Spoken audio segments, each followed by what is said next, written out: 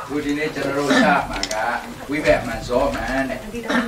ဘောရအဖြစ်အဲ့ဒါတွေကတော့စာမွဲမှာတကယ်ကို favorite question တွေခဏခဏမေးတယ်ဒါကတော့ကျွန်တော်ကဘူးသဒ္ဒအနေနဲ့ကျွန်တော်လည်းသိထားမှာပေါ့ဘာဆိုတော့ဝိဘက်မှန်ဇောမှန်ဆိုတာကလေကျွန်တော်အကုသိုလ်တွေလုပ်လို့ရှိရင်အကုသိုလ်ကသစ္စာအကုသိုလ်ကဝိဘက်ရတယ်ကုသိုလ်တွေလုပ်လို့ရှိရင်ကုသိုလ်ဝိဘက်တွေရတယ်ကုသိုလ်မှာဒီမှာကျွန်တော်ပြောခဲ့တယ်နှစ်ခုရှိနိုင်တယ်ကုသိုလ်ပြည့်ရရင်မဟာကုသိုလ်စိတ်ရမယ်ကုသိုလ်မပြည့်ပြည့်ရရင်အားရကုသလဝိဘက်ကျွန်တော်ရမှာပေါ့ အဲ့ဒါလေးတွေကအဲ့ဒီအကျိုးရတယ်အခုကျွန်တော်တို့ဒီဘဝမှာဒီဘဝကတက်ရှင်တဲ့ကာလမှာကျွန်တော်ဖြစ်ပြနေတာတွေကကျွန်တော်ဘာခေါ်လဲဆိုတော့အဲပြီးခဲ့တဲ့အတိတ်ဘဝလှုပ်လာခဲ့တဲ့ဟာတွေကကျွန်တော်တို့ကဒီအကုသလဝိဘက်တွေရမယ်ဘာကုသိုလ်စိတ်မဟာမဟာဝိဘက်တွေရမယ်အာဟိကုသလဝိဘက်တွေရမယ်ဒါပေမဲ့အဲ့ဒီကရတဲ့ဝိဘက်တွေကနေပြီးထပ်ပြီးတော့ဖြစ်လာတဲ့ဇောတွေတရားရင်ကလည်းပဲဒီဝိဘက်စိတ်တွေကပြန်တော့အကျိုးပြန်ဖြစ်ပြီးတော့တော့ ဟိုအကြောင်းပြန်ဖြစ်ပြီးတော့အကျိုးတွေဖြစ်လာတယ်အဲ့ဒါလေးကိုကျွန်တော်သိတော့သိရမှာဆိုတော့ဝိဘက်အမှန်ဇောမှန်တဲ့အဲ့တော့ကျွန်တော်တို့ကအာယုန်တွေကိုအဓိကအပြင်သုံးပိုင်းပဲပန်းတယ်ပေါ့ကောင်းတဲ့အာယုန်မကောင်းတဲ့အာယုံမကောင်းတော့ကောင်းအာယုံဆိုတော့ကျွန်တော်တို့ကမကောင်းတဲ့အာယုံကြလို့ရှိရင်အိဋ္ဌာယုံကောင်းတဲ့အာယုံဆိုအိဋ္ဌာယုံအဲ့ဒီမှာထပ်ပြီးတော့ကောင်းတယ်ဆိုတော့တိအိဋ္ဌာယုံခေါ်ရင်ခေါ်ပေါ့အဲတိတ်မကောင်းနဲ့ ပို့ပြီးမကောင်းတဲ့အောင်အတိအိဋ္ဌာယုံဒါပေမဲ့ကျွန်တော်ကအကျမ်းပြင်းအဖြစ်အနိဋ္ဌာယုံအိဋ္ဌာယုံမစ္ဆဒအိဋ္ဌာယုံအလေအလတ်ပေါ့ဆိုလိုတဲ့သဘောကဘာကိုပြောတာလဲဆိုတော့ကျွန်တော်တို့တွေ့တဲ့အာယုန်တွေမှာကောင်းတဲ့အာယုန်မကောင်းတဲ့အာယုန်မကောင်းတော့ကောင်းအာယုန်ဆိုတော့ဒီအာယုန်သုံးခုထဲမှာမကောင်းတဲ့အာယုန်တွေကျွန်တော်စပြောမယ်ဘာတွေလဲဆိုတော့ ဒါကတော့ကျွန်တော်သိတဲ့အတိုင်းပဲလေအပု္ပ္ပစာအနန္စောတွေခွေးသေးကောင်းတွေလူတွေကမကောင်းတဲ့ဟာဟုတည်းဟာကျွန်တော်အဲ့ဒါလေးနဲ့ပဲတွေ့နေမယ်ဆိုရင်ကျွန်တော်သိတယ်ဩငါတို့ပြီးခဲ့တဲ့ဒေဘွားတွေမှာငါလှုပ်လာခဲ့တဲ့ကုသိုလ်အကုသိုလ်ရဲ့အရှင်ကြောင့်ဒီဘဝမှာငါမကောင်းတဲ့ environment မကောင်းတာတွေပဲငါတွေ့တွေ့နေရတယ်ဆိုတော့ကိုကအဲ့ဒီ website လေးတာကိုကရတယ်ဒါပေမဲ့လို့ကျွန်တော်သိနေတာကအဲ့ဒီမကောင်းတာတွေကိုတွေ့လို့အာယုံတွေ့လို့ရှိရင်ကျွန်တော်တို့မှာပထမဆုံးဖြစ်လာတဲ့အကုသလဝိပဿစိတ်က ပြင်စဝိညာဉ်တံပတိဆိုင်တန်တိရဏတန်တိရဏဥပိ္ပကဖြစ်နေတယ်အဲသောမနတဖြစ်နေတယ်ထားတော့ကျွန်တော်ကသိရမှာကပြင်စဝိညာဉ်နဲ့တံပတိဆိုင်ဆိုမနောတတ်လေအဲ့တော့တံပတိဆိုင်တွေဒီမှာတံပတိဆိုင်နှစ်ခုရှိတော့တံပတိဆိုင်တွေပစ္စတော်လားအဲ့ဒီသုံးခုပေါင်းကျွန်တော်မနောတတ်ခေါ်မနောတတ်တဲ့သဘောကတိယုံမျှလေးပဲဥပမာအဲ့ဒါဘယ်လိုအဓိပ္ပာယ်ကောက်အောင်လဲဆိုတော့ကျွန်တော်တို့ကဒီတိုင်မာလေးကိုကြည့်လိုက်လို့အခုချက်ချင်းကြည့်ကြည့်ချင်းကျွန်တော်တိုင်မာလို့သိလိုက်ပေတာက တကယ်တမ်းကျတော့အမှန်ကအဲ့ဒါကဝီရှိစင်နဲ့ပြောမယ်ဆိုရင်တိုင်မာဆိုတာလေးကိုမသိခင်စတိတိချင်းအရာဝတ္ထုလို့တိတိချင်းပြောရတော့တော်တော်ခက်တာပေါ့အဲ့ဒီဟာလေးကိုမနောတတ်လို့ခေါ်တာမနောတတ်လို့ပြောလိုက်ပြီဆိုရင်ဘာအာယုံလို့ကမသိသေးဘူးဒီကျွန်တော်တို့တိလိုက်တဲ့စိတ်ကလေးကိုဖွင့်ပေးလိုက်တဲ့သဘောလေးပဲအဲ့ဒါလေးကိုမနောတာတိကိုမြပြီပြီးတော့မှဒါတိုင်မာလေးပဲနာယီပဲပန်းပဲအစရှိပဲတိတာမျိုးဖြစ်လာတာကို အဲ့တော့ကျွန်တော်တို့ပထမဆုံးမနောဒဆိုတာကလေပင်စဝိညာဉ်နဲ့တံပတိဆိုင်ပြီးတဲ့အခါကျမှတန်တိရဏဆိုတာကသူကဆုံးဖြတ်ပေးရမှာအဲ့တော့ဆုံးဖြတ်ပေးရမယ်ဆိုတော့အကုသိုလ်မကောင်းတဲ့အနိဋ္ဌာန်တွေတွေ့တဲ့အခါမှာအကုသလဝိပဿနာကအမြဲတမ်း9ပါးအမြဲပါပါတယ်တဲ့ပင်စဝိညာဉ်က9ခုလေသကုသောတာကာဏဇီဝကာယဆိုတဲ့9ခုပဲတံပတိဆိုင်က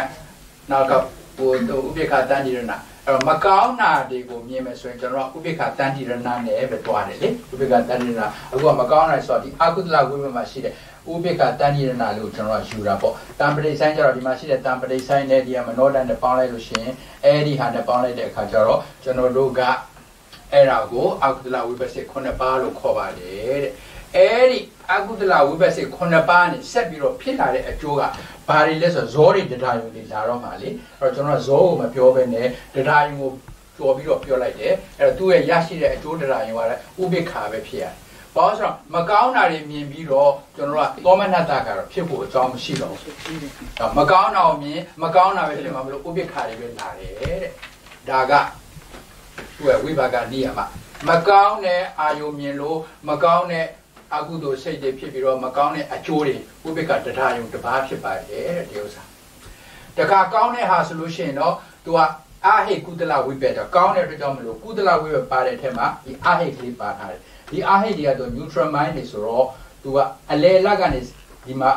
ဂျားထဲမှာပေါ့အကုသိုလ်လည်းမဟုတ်ကုသိုလ်ဟုတ်ဂျားထဲကနေပဲဒါသူတို့အရင်စပြီးတော့ကျွန်တော်ပြောရတယ်ပြောတဲ့အခါမှာ तू ကလည်းအဲ့ဒီတိုင်းပဲအာဟိကုသလဝိပက်သူကြားတဲ့အခါကျတော့ သောမနတတန်တိရဏသောမနတန်တိရဆိုဒီမှာရှိတဲ့သောမနတန်တိအဲ့ဒီဟာလေးနဲ့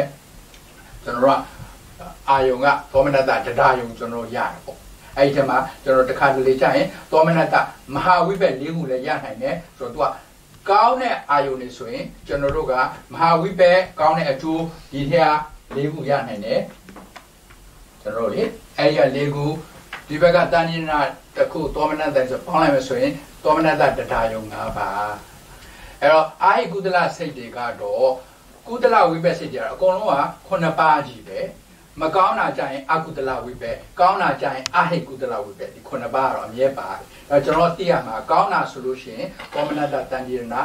မကောင်းတဲ့အနေထားဆိုရင်ဥပေက္ခတန်ဒီရနာကောင်းမကောင်းဆိုလို့ရှိရင်လည်းဥပေက္ခတန်ဒီရနာကျွန်တော်အဲ့လိုရှိအဲ့တော့ဝိဘက်အကျိုးတွေကအပေါ်မှာတရားယုံဥပေက္ခတရားယုံမကောင်းတဲ့အာယုံဆိုရင်တစ်ခုရမယ် ကောင်းမကောင်းဆိုလို့ရှိရင်ဂျာရရဆိုလို့ဥပေက္ခတရားယုံရမယ်ကောင်းတဲ့အာယုံကြတော့အမှန်ကတော့ तू ကသောမနတတရားယုံကတပါတို့ပါရင်ကောင်းတဲ့အတိတ်ထာဒီအတိအိဋ္ဌာယုံတို့အိဋ္ဌာယုံတို့ဆိုလို့ရှိရင်မဟာဝိပက်၄ခုပါထပ်ပြီးထည့်လိုက်လို့သူက၅ခုဖြစ်သွားတယ်အဲ့ဒါကိုဘာပြောလဲဆိုတော့ဝိပက်အမှန်ဇောအမှန်ဆိုတာကဒီဝိပက်ကမကောင်းတာဖြစ်လို့မကောင်းတဲ့ဥပိ္ပခတတာယုံဝိပက်အကျိုးကိုရတယ်ကောင်းတဲ့ အိဋ္ဌာယုံအာယုံဖြစ်လို့ကောင်းတဲ့အကျိုးရတယ်မကောင်းတကောင်းဖြစ်လို့သူကအပေါ်အလိုပဲဥပိ္ပခတတာယုံရတယ်ဒါကကျွန်တော်နိယာမတွေပေါ့အဲ့တော့ကျွန်တော်သိထားမှာကဒီစကလုံးဝဟာရတွေကိုမမှတ်မိတာမှမကောင်းတဲ့အာယုံဖြစ်မယ်ဆိုရင်ဥပိ္ပခတန်တိရဏရမယ်ကောင်းတဲ့အာယုံဆိုရင်သောမနတတန်တိရဏရမယ်ကောင်းမကောင်းအလယ်မှာဆိုရင်လည်းဥပိ္ပခတန်တိရဏရတယ်ဆိုရင်အဲ့ဒီအစီအစဉ်ဝိတိအစဉ်ကိုဝိဘက်ကအမှန်စောရတယ်အမှန်အမှန်ဆိုတာက မကောင်းတာမလို့မကောင်းတာရတယ်ကောင်းတာမလို့ကောင်းတာရတယ်အဲ့ဒါကိုဝိဘက်အမှန်စောအမှန်လို့ခေါ်ပါတယ်တဲ့ဒါပေမဲ့လို့အမြဲတမ်းဒီနည်းအမှအတိုင်းမသွားဘူးတဲ့ပြောချင်တာစောက်ထဲမှာလေတခါတလေကြရင်မကောင်းတာတွေ့ပြီးတော့ကောင်းတဲ့အာယုံဖြစ်တဲ့ကောင်းတာတွေ့ပြီးမကောင်းတဲ့အာယုံလည်းဖြစ်တတ်တယ်ဆိုတော့မပြောခင်ဒါလေးကိုသူအတိပ္ပယ်နည်းနည်းလေးရှင်းထားတယ်လေဝိဘက်အမှန်စောအမှန်ဆိုတာအာယုံအားလျော်စွာမှန်စွာဖြစ်ပေါ်လာသောဝိဘက်စိတ်များသည် မှန်သောဝိဘက်အကျိုးဝါမှန်သောဝေဒနာဝါမှန်သောဇောနဲ့တရားတို့ကိုဖြစ်ပေါ်စေပါကထိုထိုသောဝိဘက်စိတ်များကိုဝိဘက်အမှန်လို့ခေါ်ပါတယ်တဲ့မှန်စွာဖြစ်ပေါ်လာသောဇောတို့ကိုလည်းပဲဇောမှန်လို့ခေါ်ပါတယ်တဲ့ဘုရားရဟန္တာတွေတန်တာမှာတော့အဲ့ဒီအတိုင်းပဲနေရာမှာတိုင်းသွားရတယ်လေဟိုမြတ်စွာဘုရားတို့ကြတော့ယဟန္တာတွေကြတော့အမှန်အမှန်တိုင်းပဲမြင်တယ်မကောင်းတဲ့အနေထားယုံတွေ့လို့ရှိရင်သူတို့မှာဖြစ်လာတဲ့တရားယုံဒီဥပိ္ပခ မဟာသူတို့ကြတော့မဟာကိရိယာဆိုယဟန္တာနဲ့ဘုရားကြတော့ကိရိယာစိတ်ကြီးပေါ့ကျွန်တော်တို့လူပုဂ္ဂိုလ်ကြတော့မဟာကုသိုလ်မဟာဝိပ္ပစိတ်ကြီးပေါ့ဒါတွေကိုကျွန်တော်တို့သတိထားရမယ်လေအဲ့တော့မဟာကိရိယာဆိုရင်ဖြစ်မယ်အိဋ္ဌာယောအတိအိဋ္ဌာယောကြလို့ရှိရင်သောမနတကိရိယာဆို၅ပါးရှိမယ်တို့ကြကိရိယာသောမနတ၄ပါးနဲ့သောမနတဟတိတုပ္ပပိဒါလေးဒါဘယ်ရန်တာတွေမှာဖြစ်တတ်တဲ့စိတ်ဒါကတော့အကောင်းတာမကောင်းတာအဲ့တော့ တတိထားမှာကောင်းတာဆိုရင်သောမနတဖြစ်မယ်မကောင်းတာတွေနဲ့မကောင်းတကောင်းဆိုရင်ဥပ္ပခါတွေဖြစ်တယ်ဆိုတာလေးကျွန်တော်သိထားရုံပဲလေအဲ့ဒါဝိဘက်အမှန်စောအမှန်နဲ့ဩကျွန်တော်တို့လူတွေမှာဖြစ်တတ်တာဒါကျွန်တော်ပုထုဇဉ်တွေကလေဝိဘက်အမှန်စောပြန်တဲ့ဝိဘက်ကမကောင်းတာဖြစ်ပြီးတော့ကျွန်တော်ကကောင်းတဲ့စိတ်တရားရုံတွေဖြစ်တယ်ဝိဘက်စိတ်ကကောင်းတာဖြစ်ပြီးတော့ကျွန်တော်မကောင်းတဲ့စိတ်ဖြစ်တယ်ပြောင်းပြန်ကျွန်တော်ဖြစ်တတ်တယ်ဆိုတာပုထုဇဉ်တွေက တိခဆိုတာတော့မှအရိယာတွေတောင်မှတော့ယဟန္တာမဖြစ်သေးရင်တခါလေသူတို့ရဲ့စိတ်ကလေးတွေနည်းနည်းလေးဖောက်ပြန်တတ်တဲ့သဘောရှိလို့တဲ့ပုထုဇဉ်နဲ့တိခပုဂ္ဂိုလ်တွေမှာပါရင်တော့ဝိပန္လာတတမျိုးမျိုးကြောင့်ဗာလဲဝိပန္လာဆိုတော့လာမှာပေါ့အာယောနိတော်မနတိကာရဖြင့်ဝိဘက်အကျိုးဇောတရာယုံတို့ဟာပြောင်းလဲဖောက်ပြန်ကဖြစ်ခြင်းတလို့ဖြစ်လာတတ်တယ်တဲ့အဲ့လိုဖြစ်ပေါ်လာခြင်းကိုဝိဘက်ကမှန်ပေမဲ့လို့ဒီဘက်မှာဖြစ်တဲ့ဇောတွေကပြောင်းပြန်နေဖြစ်တတ်တယ် ဝိပန္လာတဆိုတာကလေအတန်ဘက်ကဝိပန္လာတဒါကြောင့်ကျွန်တော်ကပလင်လို့ရေးလို့ရှိရင်ကျွန်တော်ပလင်ပလင်ဆိုတာလေရေးရခါကျတော့ပဆောင်နဲ့အဲလနှလုံးစင်ကျွန်တော်တို့ကအဲ့ဒါကိုကျွန်တော်ကပါဇက်ကရေးတဲ့အခါကျတော့ပလင်လို့ထွက်တယ်အမှန်ပန်လင်ကဒီလာလေးကနာအနေနဲ့ယူတဲ့အခါကျတော့ပန်ဒီကလာကဒီအတတ်နဲ့ဆိုရင်လင်ပန်လင်က ဒါပလင်ပေါ့ကျွန်တော်ထွက်လိုက်လို့ရှိရင်ဒီအဲ့တော့ဒီမှာလဲဝိပန်လာတဝိပန်လာတဆိုတာကအော်ကျွန်တော်တို့ဟိုပေါ့စိတ်တို့ဤဖောက်ပြန်ခြင်းယူတာကိုပြောတာမဟုတ်စိတ်တို့ရဲ့ဖောက်ပြန်ခြင်းဆိုတာကအမှန်ဖြစ်ရမယ့်သဘောအမှန်သဘောတရားမဖြစ်ဘူးဘာလို့ဆိုကျွန်တော်အာယောနိသောမနတိကာရနဲ့ဖြစ်လာလို့ဆိုတော့ဘာတွေလဲဆိုရင်ဒီဝိပန္လာတ၃ပါးဆိုရယ်စိတ်တဝိပါလာတစိတ်ဖောက်ပြန်ခြင်းအမှတ်မှားမှုအယူမှားမှုတချို့ကအမှတ်မှားထားတာရှိတယ် ဒဒီဥစ္စာလေးကဒီလိုခေါ်ပါတယ်ဒီလိုဖြစ်ရမယ်ဆိုတော့ तू ကသူ့အယူဆကတမျိုးခုနကျွန်တော်တို့အမှန်မှားတာလေတင်ညာဝိပါဏတာနဝကာမဆိုကျွန်တော်တင်ညာဝိပါဏတာကျွန်တော်တို့အစနဝကာမဆိုတာပတ်စံကိုပဲကျွန်တော်ထင်းနေတာအဲ့ဒါအမှန်မှားတာအဲ့ဒါလက်တွေ့ပဲအဲ့ဒါကကျွန်တော်တင်ညာဝိပန္လာတအခုပြောလိုက်တဲ့အခါကျတော့သိသွားပြီလေ။ဩဒါကြရင်ကျွန်တော်ဒီတင်ညာဝိပါဒတာကိုဖယ်ရှားလိုက်တယ်။အဲ့ဒါလိုတင်ညာဝိပါဒတာအမှန်မှားမှားမှားမှားပြီးတော့ ထားနေတာလေကျွန်တော်တို့ကိုယ်တော်ကအများကြီးရှိတာလေ။အဲ့တော့တစ်ခုပြီးတစ်ခုကျွန်တော်ကဒါစာပေတွေလေ့လာရင်လည်းဒါတွေဖယ်ရှားသွားတော့အဲဒိဋ္ဌိဝိပါဒတာဆိုအယူမှားနေတာ။လူတယောက်ကိုတွားပြီးတော့တတ်လိုက်လို့ရှိရင်နိဗ္ဗာန်ရောက်တယ်ဆိုရယ်ဘာသာအယူဝါဒတွေရှိတယ်လေ။အဲဒါကြောင့်ဆိုတာကိုကိုတတ်သေးတယ်အမလင်ငါနိုင်ငံအတွက်ကိုငါအသက်ကိုသူဆိုသူတို့ကအဲ့ဒါနိဗ္ဗာန်ရောက်တဲ့ထင်နေတာလေဒါသူတို့ကဒိဋ္ဌိဝိပန္နာကခေါ်တယ်ပေါ့ဒါမျိုးတွေကိုကျွန်တော်ပြောတယ်အဲ့ဒီတော့ကျွန်တော်တို့ကပြောမယ် အဲဒါတို့နဲ့တော့မဆိုင်ပါဘူးတို့တွေကအယူကလည်းမှန်တာပဲအမှတ်ကလည်းမှန်တာပဲဒါပေမဲ့လို့ကျွန်တော်တို့က apply ပြီးဒီမှာဆိုတော့ကိုကိုကိုအကြောင်းကိုကလေ့လာတော့အဲ့ဒီဟာကြီးကျွန်တော်တို့လည်းဘာတွေမှားနေလဲဆိုတော့ဓမ္မမစ္စလို့ပြောမကြခင်တွေ့တော့မှာလေအဲ့တော့တိခပုံကိုယ်တွေမှာလည်းဖြစ်နိုင်သေးတယ်အဲ့တော့တတိထားမှာကကျွန်တော်တို့ပုထုဇဉ်တွေမှာဆိုရင်အဲဒီဝိပါလာတ၃မျိုးစလုံးဖြစ်တာတကယ်လို့ဓမ္မမိတ်ဆွေတို့ကသောတာပန်ဖြစ်သွားပြီဆိုရင်ဒီဒိဋ္ဌိဝိပါလာတ မရှိတော့ဘူးနှစ်ခုပဲဖြစ်နိုင်တယ်ဒါကြောင့်အရိယာတွေမှာလည်းပဲဖြစ်နိုင်သေးတယ်တဲ့ဘယ်အထိအောင်ဆင်လဲဆိုလို့ရှိရင်အနာဂံအထိအောင်စိတ်တဝိပါလာတပညာဝိပါလာတဖြစ်နိုင်သေးတယ်တော့သောတာပန်ဖြစ်ပြီမဲ့ဖြစ်လာတဲ့ဒီပြိုင်နဲ့တည်းဒိဋ္ဌိဝိပါဏတအယူမှားမှုကမရှိတဲ့အတွက်ကြောင့်လို့တို့တော့မှနှစ်ခုပဲရှိတယ်အတိခါယဟန္တာကြတော့မှဝိပါဏတသုံးခုစလုံးကကုန်သွားပါတယ်တဲ့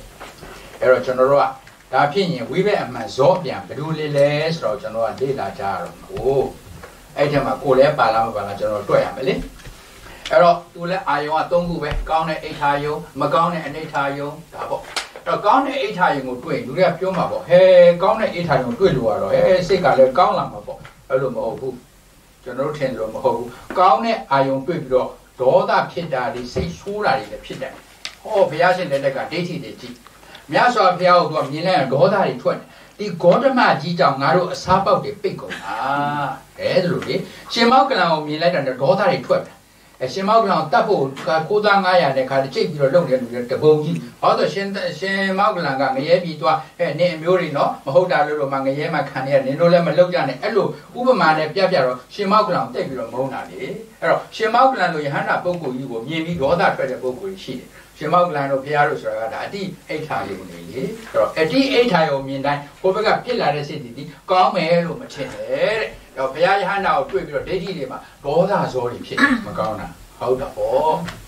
ဩတခါကြည့် ကျွန်တော်တို့လမ်းမှာတွေ့တယ်လေခွေးတွေကောင်းတွေလူတွေကောင်းတွေမြင်အမလေးခါတဲ့အနောက်မခံနိုင်ဘူးတခါတဲ့အတုပရှုတရားသွားတယ်ဆိုရင်အနောက်မခံနိုင်အလောင်းလည်းမကြည့်ချင်ဘူးဟောတော့ဒီမှာပုတ်ပွားနေပြီလို့ကိုကြီးကတခါကြည့်ရုပ်ပြက်ဆင်းပြက်ဖြစ်လာတယ်ဆိုလို့ရှိရင်ကျွန်တော်တို့ကမကောင်းတဲ့အနေထားကိုမြင်ရင်ကျွန်တော်တို့က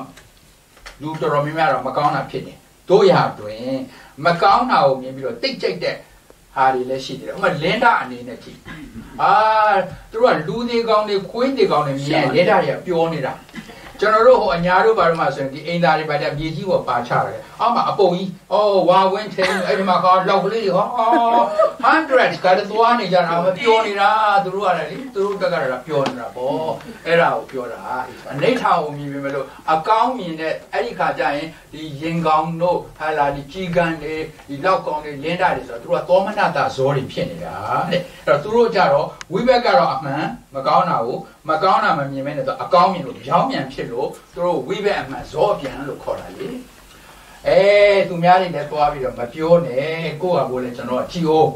ကျွန်တော်ကလင်းတာတွေကြီးကန်းနေလောက်တည်တာပြောတာကျွန်တော်တို့လူတွေလည်းကြည်လေ ငပိရေတဲ့ဩအဲ့ဒီငပိရေဆိုတာလေးကိုလည်းဘုဒ္ဓတုဒ္ဒနဲ့ပြောအောင်မယ်အနေထားရောငပိပုတ်ငပိရေငချင်းပုတ်တွေတွေ့ရင်အဲ့ဒီလူတွေမှာမလီပျော်လိုက်တာအလေကျွန်တော်တို့အတော်တွေများစင်ငပိရေလည်းတော့မိတ်ချိုးနာပဲတဲ့ဟာသူတို့ကြည့်ပြီးတော့ဘယ်လိုလုပ်ချိုးလဲကျွန်တော်နားမလည်နိုင်အဲ့တော့ဓမ္မမိတ်ဆွေတို့ကျွန်တော်ကဒီခုတော့ပြန်မေးအောင်ဘာဖြစ်လို့ငပိလို့ခေါ်ရမသိဘူးနော်အမျိုးသမီးတွေသိတဲ့တယ်ငပိကိုဘာကြောင့်ငပိလို့ခေါ်ရဲဆိုတာလေးက ပါဠိဘာသာလေးစပြီးတော့လေ့လာတော့ကျွန်တော်လည်းသိတာအဲအဲ့ဒါလေးကိုကျွန်တော်ပြောပြတယ်အဲ့တော့ဒီငပိငပုတ်တွေကအပဒန်ဂျွန်စရာကောင်းတဲ့ငပိဆိုတာကလေကျွန်တော်တို့အဲကျွန်တော်တို့ကဟိုမြို့ဝကျွန်းပေါ်သားဆိုတော့မြင်ဘူးတယ်ဟိုဘိုးကလေးပဲဒီမှာအရင်တော့ခစ်က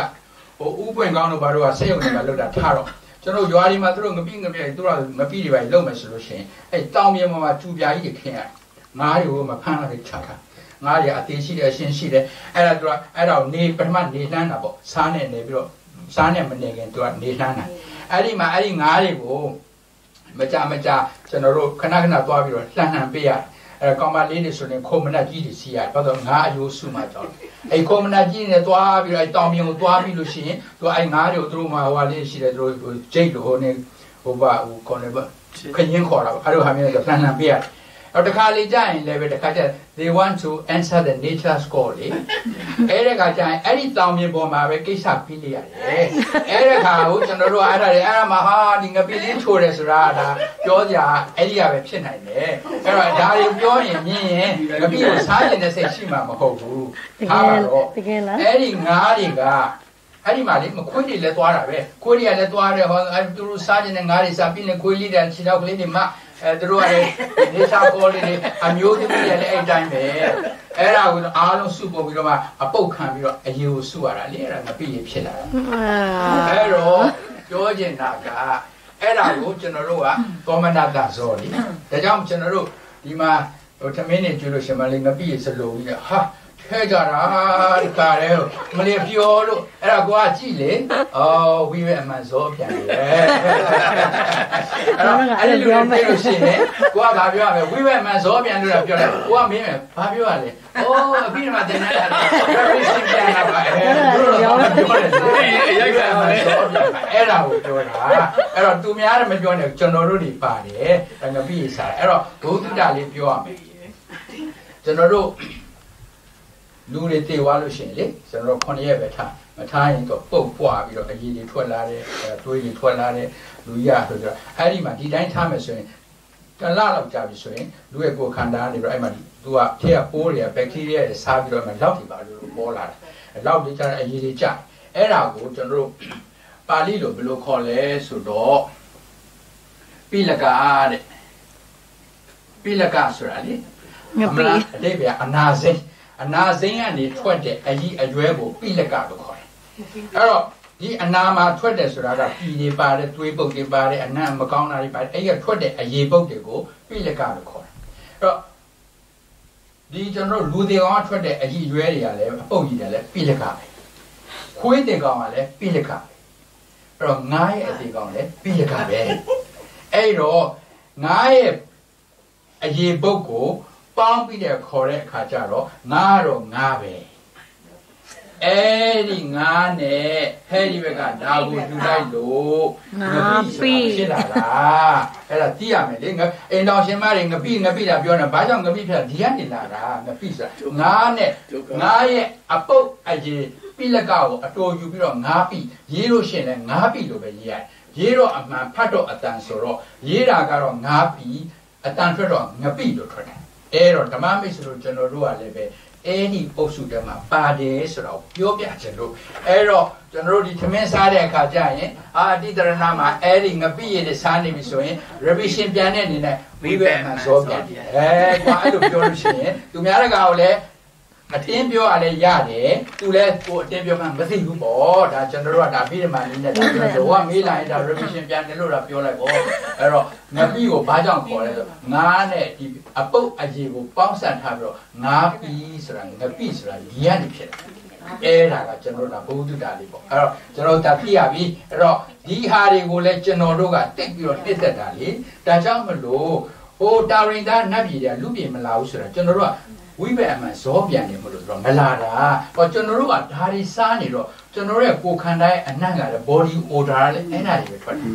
ဒီကြားထဲမှာတီလာကမလုံခြုံရင်တော့ပို့ဆိုးတာပေါ့ဒါကြောင့်သူတို့ကမလာတာအဲ့တော့ကျွန်တော်ကသိပြီငပိကိုဘာကြောင့်ငပိခေါ်ရလဲဆိုတော့လည်းကျွန်တော်သိသွားပြီအဲ့တော့ကျွန်တော်တို့ကလည်းတကယ်တမ်းကျတော့ဝိဘက်အမှန်ဇောအပြန်ထဲမှာပါတယ်အဲ့တော့ကိုယ့်ကိုယ်လည်းအဲ့ဒါသိထားမှာလေအဲ့မသိထားလို့ရှိရင်ကိုယ့်ကိုယ်ကတော့ငါတော့ဟုတ်နေတယ်ထင်တာကိုအဲ့တော့နောက် နေရာမှာတခုကဇဝနနေရာမှာခုနပါစတဏဝုမှာကျွန်တော်ဇောလာမယ်လေနော်ကျွန်တော်ကခုနပြောလာခဲ့တဲ့ပစ္စဒရဝိသကုဝဉ္ဉ္စိတ်တံပတိဆိုင်နော်တန်တိရဏနားတဲ့ခရာဒီမှာကျွန်တော်ကဇောတွေဆိုတော့ဒီဇောရဲ့အနောက်မှာဖြစ်တတ်တဲ့နိယာမတဲ့သဝနာနိယာမလေဒါလေးကအဲ့တော့ကျွန်တော်တို့အခုမိတ်ဆွေတွေနေထိုင်မကောင်းဖြစ်လို့ဆေးုံရောက်နေတယ် အဲ့ဒါကျွန်တော်တို့လည်းအိတ်တဲ့အခါမှာကျွန်တော်တို့မှာဇောတွေဘယ်နဲ့ချင်းဖြစ်တယ်ဆိုတာဒါကတော့ theory နဲ့သိထားဖို့ပါပဲဒါဆောင်းဝဲမေးဆောင်းဝဲမှာတော့ဘယ်လိုမေးတတ်လဲဒါတွေကတော့ကျွန်တော် apply ပြီးဒီမှာတော့ဘာမှတိတ်ပြီးတော့ကျွန်တော်တို့ကတော့ဟိုတိတ်အတုံးဝင်လာတယ်တော့မဟုတ်ဘူးပေါ့သူကသိထားနေတာပေါ့အဲ့တော့တာမန်ကျွန်တော်ဝီရှိစိတ်စင်မှာကျွန်တော်ခုနှစ်ခုရှိတယ်လေခုနှစ်ခုရှိတယ်တချို့ကတစ်ခါတည်း6ခုလည်းဖြစ်တတ်တယ်အဲ့တော့လင်္ကာလေးလည်းရှိတယ်ပဂရိခါ ကာဇောမှာကာမဝါစရဇောတွေမှာခွန်၆ခုရေးမှတ်တယ်အဲ့တော့ထားတိထားမှာခုနှစ်ခုရှိတယ်ကျွန်တော်ဇောတွေအဲ့ဒီဇောတွေခုနှစ်ချိန်လို့6ချိန်လို့9ချိန်လို့ဆိုတာကျွန်တော်တို့ကကျွန်တော်သိတာပေါ့မြတ်စွာဘုရားပြောပြလို့လားသိရကိုကကိုလည်းကြီးတွက်လို့မရပါစိတ်ကအမြန်လုံးအားကြီးလို့တွက်လို့လည်းမရတော့ဒါလေးက theory အနေနဲ့တာကျွန်တော်ခေါင်းထဲမှာမှတ်ထားတာဟုတ်အဲ့တော့တာမန်ဝိသိစိတ်အစဉ်မှာဇောကခုနှစ်ချိန်ကြတယ်တဲ့ကလေးလေးတွေပေါက်ခါစားလေးတွေအမေပိုက်တဲ့ထွက်လာတယ် တတိလစ်တဲ့မေမျောတယ်ဆိုတာ ventilator နဲ့နေရတဲ့ပုံကိုယ်ကြီးအဲ့တော့ကိုယ့်ရဲ့မိတ်ဆွေပါလေအဲ့လိုဆက်ကလေးနဲ့အသက်ရှူနေဆိုကိုကသိရတယ်။အော်သူကတော့ဇောတွေကသူ့အချိန်အဲ့ဒီအချိန်ခါမှာသူတို့ဇောတွေက9ချိန်နဲ့ရှိ9ချိန်တော့ပဲရှိတယ်။တေကာနေချိန်မှာလည်း9ချိန်တော့အဲ့ဒါကြောင့်ဇောက9ချိန်ရှိတယ်ဆိုပေမဲ့လို့အဲ့ဇောကအားကောင်းတဲ့ဇောမဟုတ်တော့ဘူး။အားကတိတ်ပြီးတော့ပျော့သွားပြီ။အပျော့သွားမှကိုကသွားပြီးတော့အနားမှာသွားပြီးတော့ကပြင်းကြီးရွတ်ပြမယ်ဆိုတော့ရွတ်ပြတာတော့ကုသိုလ်ရတယ်။ तू ကကြားတာမကြားတာကိုကအာမမခံနိုင်တော့ အဲ့ဒါကြောင့်မလို့တေဂာနိအခါကြတော့မှဟဲ့ကုသိုလ်ကောင်းမှုတွေကိုတတိယပါတော့ဘာသွားပြောမနေနဲ့တော့မရတော့မတေခင်ကလော့မှာကျွန်တော်ကပြောင်းပြန်ဖြစ်နေတော့တေဂာနိကြတော့မှငါကုသိုလ်တွေပါလေအဲ့ဒါတွေကဘုရားရုပ်ပွားတော်ကြီးအနာလာပြကြီးစီတွေထုပြတရားကိုတွေဖွင့်ပြ it's too late too late အဲ့တော့မသေးခင်စာကြမှာအာအာစင်တကန်ရောက်အထက်ထက်အထက်ထက်ကိုလူခဲ့တဲ့ဟာတွေကိုလုတ်ခဲ့တဲ့ကုသိုလ်ကောင်းထပ်ခါထပ်ခါစိတ်ထဲမှာဆွဲနေတော့ အဲ့ဒါလေးကိုလည်းလုံးရတာပေါ့အကျင့်လေးကလေနောက်ကောင်းတဲ့အကျင့်လေးကဘယ်သူမဆိုအိယာဝင်ကန်နီးကြလို့ရှိရင်လေမိမိလှုပ်လာခဲ့တဲ့ကုသိုလ်ကောင်းမှုတွေကိုပြန်ပြီးတော့နှလုံးသွင်းဘာဖြစ်လို့လဲဆိုတော့အိပ်ပျော်ပြီးပြီဆိုရင်ပြန်နိုးမယ်လို့ဘယ်သူမှအာမမခံအိပ်ပျော်ပြီးတော့မေ့သွားတဲ့လူတွေရှိတယ်လေမေ့ပြီးတော့အသက်ပါပျောက်သွားနိုင်တယ် ကျွန်တော်တို့မိတ်ဆွေတွေမှာလည်းအများကြီးရှိတယ်ပေါ့အိပ်ပျော်ရင်းနဲ့ဆုံးသွားတဲ့လူတွေရှိတယ်ထိုင်နေပြီးတော့အိပ်နေပြီးတော့ဆုံးသွားတာတွေရှိတယ်ဒါကြောင့်မလို့ကျွန်တော်တို့တွေကအဲ့ဒါလေးတို့တာဝေကယူပြီးတော့ငါလည်းပဲ it happen it can happen to me ဆိုတာလေးကိုအမြဲတမ်းသိတယ်မှာနှလုံးသွင်းပြီးတော့တေဂာနီးအချိန်အိတ်ခါနီးအချိန်မှာငါဒီနေ့ဘာတွေလုပ်ခဲ့တယ်လဲကောင်းတာတွေမကောင်းတာတွေဘာတွေလုပ်ခဲ့တယ်မကောင်းတာတွေဆိုရင်လည်းကိုယ့်ကိုပြန်စဉ်းစားတော့ဒါတွေကိုငါနဲတဲ့နေအောင်တနေ့ပြီးတနေ့လုပ်မယ်ဆိုတာလေးကိုစိတ်ထဲကထားရတယ်အဲ့ဒီဆိုလို့ရှိရင်အလကားခါရဲထိုးပြီးတော့မအိတ်လိုက်နဲ့ အဲ့ဒါကအဲ့လိုဆိုအကျိုးမရှိတော့အိတ်ချင်းပဲကိုယ့်ကိုနှလုံးသွင်းငါဒီနေ့အိတ်ချင်းဒီခေါင်းအုံးနဲ့ခေါင်းနဲ့ထိတာနောက်ဆုံးအချိန်ပဲလားဆိုတော့ဖြစ်နိုင်တယ်ဆိုတော့တတိထားအဲ့ဒီခါကျရင်ဘာလို့ရလဲဆိုတော့ကိုလှူလာခဲ့တဲ့ကုသိုလ်ကောင်းလို့ပြန်နှလုံးလေးတွင်းပြီးတော့အဲ့ဒါလေးနဲ့အိတ်သွားအကယ်လို့များအိတ်နေတော့အုံနောက်ပြိုးစောပောက်သွားလို့ရှိရင်အဲ့ဒီခုနနောက်ဆုံးတွေးခဲ့တဲ့ဟာလေးကကိုယ်အများကြီးထောက်ဖို့ပေးမှာ ဒါလေးတည်းတိတ်အရေးကြီးတယ်ကျွန်တော်တို့ကဗုဒ္ဓဘာသာတွေဖြစ်တဲ့ခါကျတော့အမှတ်တမဲ့နဲ့အဲ့လိုအိတ်မယ်ဆိုလို့ရှိရင်အသေးနာဖို့ကောင်းတာပေါ့မသိလို့အိတ်လိုက်တယ်ဆိုလို့ရှိရင်ကိစ္စမရှိဘူးအခုတိတ်ထားတယ်လောက်ရမယ်ဆိုတာသိပြီးတော့မှအဲ့ဒါကိုမေ့ပြီးတော့မလုပ်လိုက်လို့ရှိရင်ကျွန်တော်တို့ကဒီနေ့မှာကိုယ်လည်းပဲအဲ့လိုဖြစ်သွားနိုင်တယ်ဆိုတာလေးကိုနှလုံးသွင်းထားဖို့လေအဲ့ဒါဒါတနည်းအားဖြင့်ဒါမရဏနုတ်တိလို့ခေါ်တာပေါ့ဒါလည်းကမ္မထန်တစ်ခုပဲအဲ့တော့ခမင်းစားလို့ရှိရင်လည်းငါအခုစားနေတာနောက်ဆုံးခမင်းပဲလား ငါအခုအိတ်တာလဲနောက်ဆုံးအိတ်ခြင်းပဲလားငါအခုဘုရားရှိခိုးနေတဲ့တရားထိုင်လဲငါရဲ့နောက်ဆုံးအချိန်များဖြစ်နေမလားဆိုတော့နှလုံးသွင်းထားရင်လူကတဖြည်းဖြည်းတဖြည်းတာဝေကရတာပေါ့အဲ့ဒါလေးကလေတိတ်ပြီးတော့အရေးကြီးတယ်အဲ့တော့ကျွန်တော်မွေးကားစားကလေးလေးတွေတတိလက်နေမေမျောနေတယ်ဒီကနေ့ချိန်မှာဇောက၅ချိန်ပါတဲ့မြတ်စွာဘုရားတို့ဘာလို့တကိုးပြတဲ့အခါကျရင်သူကလည်းဇောကအဲ၅ချိန်၄ချိန်လောက်ရှိတယ်အော်ကျွန်တော်တို့ဒီဇန်နေပါရက်ကနေပြီးအပနာဇောအရှိမ ဥပဇာယတမာရီကိုနေ့ကကျွန်တော်ပြောခဲ့တယ်လေအဲဒီဒီကျွန်တော်ဥပဇာရလာကျွန်တော်တို့ဟိုဒီတမာရီဇော၄ခုမှာဒါရဲ့ဇောတွေက၄ချိန်ရှိတယ်ဆိုတော့လည်းပြောခဲ့တယ်တခါမဟဲကုတ်ဇောဇောကြကနေကြလို့ရှိရင်အာဒီကာမိကဇန်ဆိုတော့ပထမအဆုံးရတဲ့ဇန်ဆိုလို့ရှိရင်လည်းပဲကျွန်တော်ဒီမှာတစ်ခုအော်ဒီမှာလေဒီတစ်ခုပဲကြားတယ်အပင်ညာဇောဆိုလို့ရှိရင်ဇောကတစ်ချိန်ပဲကြားဒါတွေကတော့တကယ်တမ်းပြောရလို့ရှိရင် theory တွေပေါ့ကျွန်တော်တို့မသိတော့ဒါတွေတော့ကျွန်တော်စာနဲ့ကြက်ထားတော့ဒါစာသမားတွေအတွက်အရေးကြီးတာအရေးကြီးတာကစာမွေးမှာခဏခဏမေးတာနိရောဓသမဘတ်ကိုမကြခင်အရှိမနှစ်ခါဇောကြပါတယ်ဒီတော့သမဘာထားလို့ရှိရင်တစ်ခါကြပါတယ်ဒါလေးကတော့ခဏခဏမေးတတ်တဲ့ question လေးတွေပါတဲ့ဒါကတော့ကျွန်တော်တို့ apply ပြီးဒီမှာအနေနဲ့ဆိုလို့ရှိရင်တော့တိတ်တော့ကျွန်တော်တို့လည်းကတိတ်အတုံးမကြလာဘူးတော့စာအနေနဲ့တော့ပြီးထားမှာပေါ့အဲ့တော့တရားထိုင်နေတဲ့အခါမှာတဲ့ ဒါလေးကတော့ကျွန်တော်နည်းနည်း apply ယူလို့ရတော့ပေါ့တရားထိုင်နေတဲ့အခါမှာမဟာကုသိုလ်ညာနာတမ်းပြုတ်ဇောတွေနဲ့နိရောဓတရား၅ပါးကိုတဲ့တည်ငါဗဟန်နဲ့ပယ်ထားတယ်ကျွန်တော်တို့ကပြောတာနော်အော်ငါရဲ့ကိုဟာအကုသိုလ်ကိုလည်းအမြဲတမ်းပြင်းနေနေတာပဲမထင်နဲ့ဓမ္မမိတ်ဆွေတို့မှလည်းပဲအကုသိုလ်တွေကင်းနေတဲ့အချိန်တွေရှိတာပေါ့ အခုပဲကျွန်တော်သင်တန်းတက်နေတယ်လေအိမ်မငိုက်ဘူးဆိုလို့ရှိရင်ဒါကုသိုလ်စိတ်တွေပေါ့အိမ်ငိုက်တယ်ဆိုလို့ရှိရင်စောင်းပြောတာဟုတ်နော်ကျွန်တော်ဒီဘက်လက်ပြောနေတာအိမ်ငိုက်တယ်ဆိုရင်ဒါကျွန်တော်တို့ကဒါအကုသိုလ်စိတ်ကလေးဝင်သွားတာပေါ့အဲ့တော့ကုသိုလ်စိတ်ဆိုတာဓမ္မမစ္စလို့တရားထိုင်နေလို့ရှိရင်အဲ့တရားထိုင်နေတဲ့စိတ်ကလေး9စက္ကန့်လေးပဲစိတ်ကလေးကငြိမ်9စက္ကန့်ကုသိုလ်ရသွားတာအဲ့ဒါလေးကိုကျွန်တော်သိတတိထားရမှာ အာတချို့က overall ကြည့်ပြီးတော့မလေးငါစိတ်တွေဒီနေ့ထွက်တာစိတ်တွေမငြိမ်ဘူးဆိုတော့စိတ်ပြက်သွားတာနဲ့အဆုံးတတ်သွားရင်မဟုတ်ဘူးပြန်ပြီးတော့ on the other way တစ်ဖက်ကနေပြန်ပြီးတော့စဉ်းစားကြည့်ငါနိုင်ဝဲထိုင်တယ်စိတ်တွေပြန့်တယ်ဟုတ်ပါတယ်ပြန့်ပါတယ်မပြန့်တဲ့အချိန်မရှိဘူးလားရှိတာပေါ့အဲ့ဒီဟာလေးကမဟာကုသိုလ်စိတ်ဒီလိုယူတတ်တယ်အဲ့တော့မှကိုယ့်အကိုအားပေးတာပေါ့ဩမနေ့ကငါတရားမထိုင်ပြီဘူးငါ တရားမထိုင်နေပဲလေအမှတ်တရားလေးနဲ့ခဏိကတတိလေးနဲ့နေနိုင်တယ်ဆိုရင်ပဲအဲ့ဒါမဟာကုသိုလ်စိတ်နဲ့နေတာလေအဲ့ဒါကိုကျွန်တော်ကပြောပြချင်တယ်ဒါကြောင့်လို့တရားထိုင်နေတဲ့အခါပဲဖြစ်အမှတ်တရားလေးနဲ့နေတဲ့အခါပဲမဟာကုသိုလ်ညာနာတမ်းပြည့်တမ်းဒီဒီတမ်းတမ်းပြုတ်ဇောတွေနဲ့နေတဲ့ကြောင့်အဲ့ဒီအချိန်ကလေးမှာနေရတရား၅ပါးကိုခဏလေးပယ်ထားတာတဲ့အဲ့ဒါကြောင့်သူ့တတင်ကပဟန်လို့ခေါ်ပါတယ်စာအုပ်တွေထဲမှာတော့သူတို့ကပယ်တတ်တယ်လို့ပြောတယ်လေဟိုနေ့ကလည်းကျွန်တော်ပြောတယ်သူကပယ်တတ်တယ်ဆိုရင် ဒီလိုကျွန်တော်ကစာအုပ်ရေးတယ်လေပယ်တတ်တယ်တဲ့အဲ့ဒီနေရာမှာကျွန်တော်ကအဲ့ဒီစကားလုံးကိုကျွန်တော်ကမကြိုက်တာလေပယ်တတ်တယ်ဆိုတော့တတ်လိုက်ဆိုတာမရှိတော့ဘူးလေအဲ့တော့ဒီအကုသိုလ်တွေကိုကျွန်တော်ကပယ်တတ်တာကိုကျွန်တော်ခဏတစ်ပြုတ်ကလေးပဲဖိထားတာလေအဲ့တော့ဒါကိုကျွန်တော်ကဖိထားတယ်ပယ်ထားတယ်လို့စကားလုံးသုံးရင်တော့ပိုကောင်းတာပေါ့အဲ့တော့ကျွန်တော်ကတော့တရင်ကပန်ခဏကလေးတရားထိုင်နေတဲ့အချိန်လေးမှာခဏလေးအကုသိုလ်တွေကိုပယ်ထားတယ်မဟဲကုတ်သမားကျတော့ဇန်နဲ့ဆိုတော့ ဇန်ကအကြာကြီးလုံနေတော့သူတို့ကလည်းဝိခံတာသူတို့ကလည်းခဏပဲဖိထားတာပဲအကုသိုလ်တွေကိုအပိပမတဲ့မပယ်တတ်နိုင်သေးဘူးပယ်တတ်နိုင်တာမက်ကြနေတဲ့အခါကျတော့မှတက်ဆိုင်ရာမက်အတိုင်းကျွန်တော်သောတာပန်ဆိုလို့ရှိရင်ဒိဋ္ဌိနဲ့ဝိသိကိစ္စကိုပယ်မယ်အနာဂံဆိုရင်ထပ်ပြီးတော့ကကျွန်တော်ဒေါသပယ်မယ်အဲဒီသမုတ်စေတဗဟန်ဆိုတာအရိယာတွေကျမှအပိပိုင်ပယ်တတ်တယ်ဆိုတဲ့စကားလုံး terminology ကိုသုံးတာပို့ပြီးတော့ကောင်းပါတယ်တဲ့အဲ့ဒါလေးကိုကျွန်တော်သိစေချင်လို့ပါ အဲ့တော့ကျွန်တော်တို့တွေလည်းပဲတစ်ခါတစ်ခါကြားလို့ရှိရင်ကျွန်တော်တို့ကအကုသိုလ်ဇောတွေခင်းနေပါတယ်ကျွန်တော်တို့အမှတ်တရားလေးနဲ့နေမယ်အဲ့တော့အကုသိုလ်ဇောတွေခင်းအောင်ကျွန်တော်တို့ကဘယ်လိုအချိန်ဒီမှာခင်းအောင်လို့ဆိုတာအဲ့ဒီလက်ရှိတွေ့နေသမျှအချိန်တွေကကျွန်တော်တို့ကနေတတ်ထိုင်တတ်လို့ရှိရင်အကုသိုလ်ကခင်းပါတယ်မနေတတ်မထိုင်တတ်လို့တော့ကျွန်တော်တို့ကအကုသိုလ်တွေကများနေတာကိုလုံနေတဲ့ဟာရေပဲချိုးချိုးထမင်းပဲချက်ချက်ဂါဒနီလုံးလို့ဘာလုံးလို့စာပဲဖတ်ဖတ် အဲ့ဒီအတိတရားလေးနဲ့ကတ်နေလို့ဆိုရင်ကိုယ့်ရဲ့စိတ်ကလေးကဒီအာယုံလေးမှာပဲရှိနေဘာအမှမတွေးမစင်တော့ဆိုရင်အဲ့ဒါလေးကလည်းပဲတကယ်တမ်းကျတော့နိဗ္ဗာန်တရားကင်းနေတယ်လို့ခေါ်ရတာပေါ့အဲ့ဒါကြောင့်ကျွန်တော်မဟာဗောဓိမြန်ဆရာတော်ကြီးကလူတွေကထင်နေတယ်တဲ့တရားမှတ်တယ်ဆိုတာဘုရားရှင်ရှိမှသွားပြီးတော့ထိုင်ပြီးတော့ငြိမ်ငြိမ်လေးနေမှာတရားမှတ်တယ်လို့ထင်တာအဲ့ဒါကဒိဋ္ဌိဝိပန္လာတဆိုတာအဲ့ဒါကိုပြောတာကျွန်တော်တို့ကမှားနေတာကဘုရားရှိမှထိုင် တရားစကားလိုက်ပြီးတရားထိုင်မှတရားမှတ်တယ်လို့ထင်နေတာမဟုတ်ဘူးတဲ့ဒါကျွန်တော်ပြောတာမဟုတ်မဟာဗောဓိမြန်ဆရာကြီးကပြောနေတာလူတွေကဒိဋ္ဌိဝိပန္လာတဆိုအယူကအယူအဆအမှားနေတာ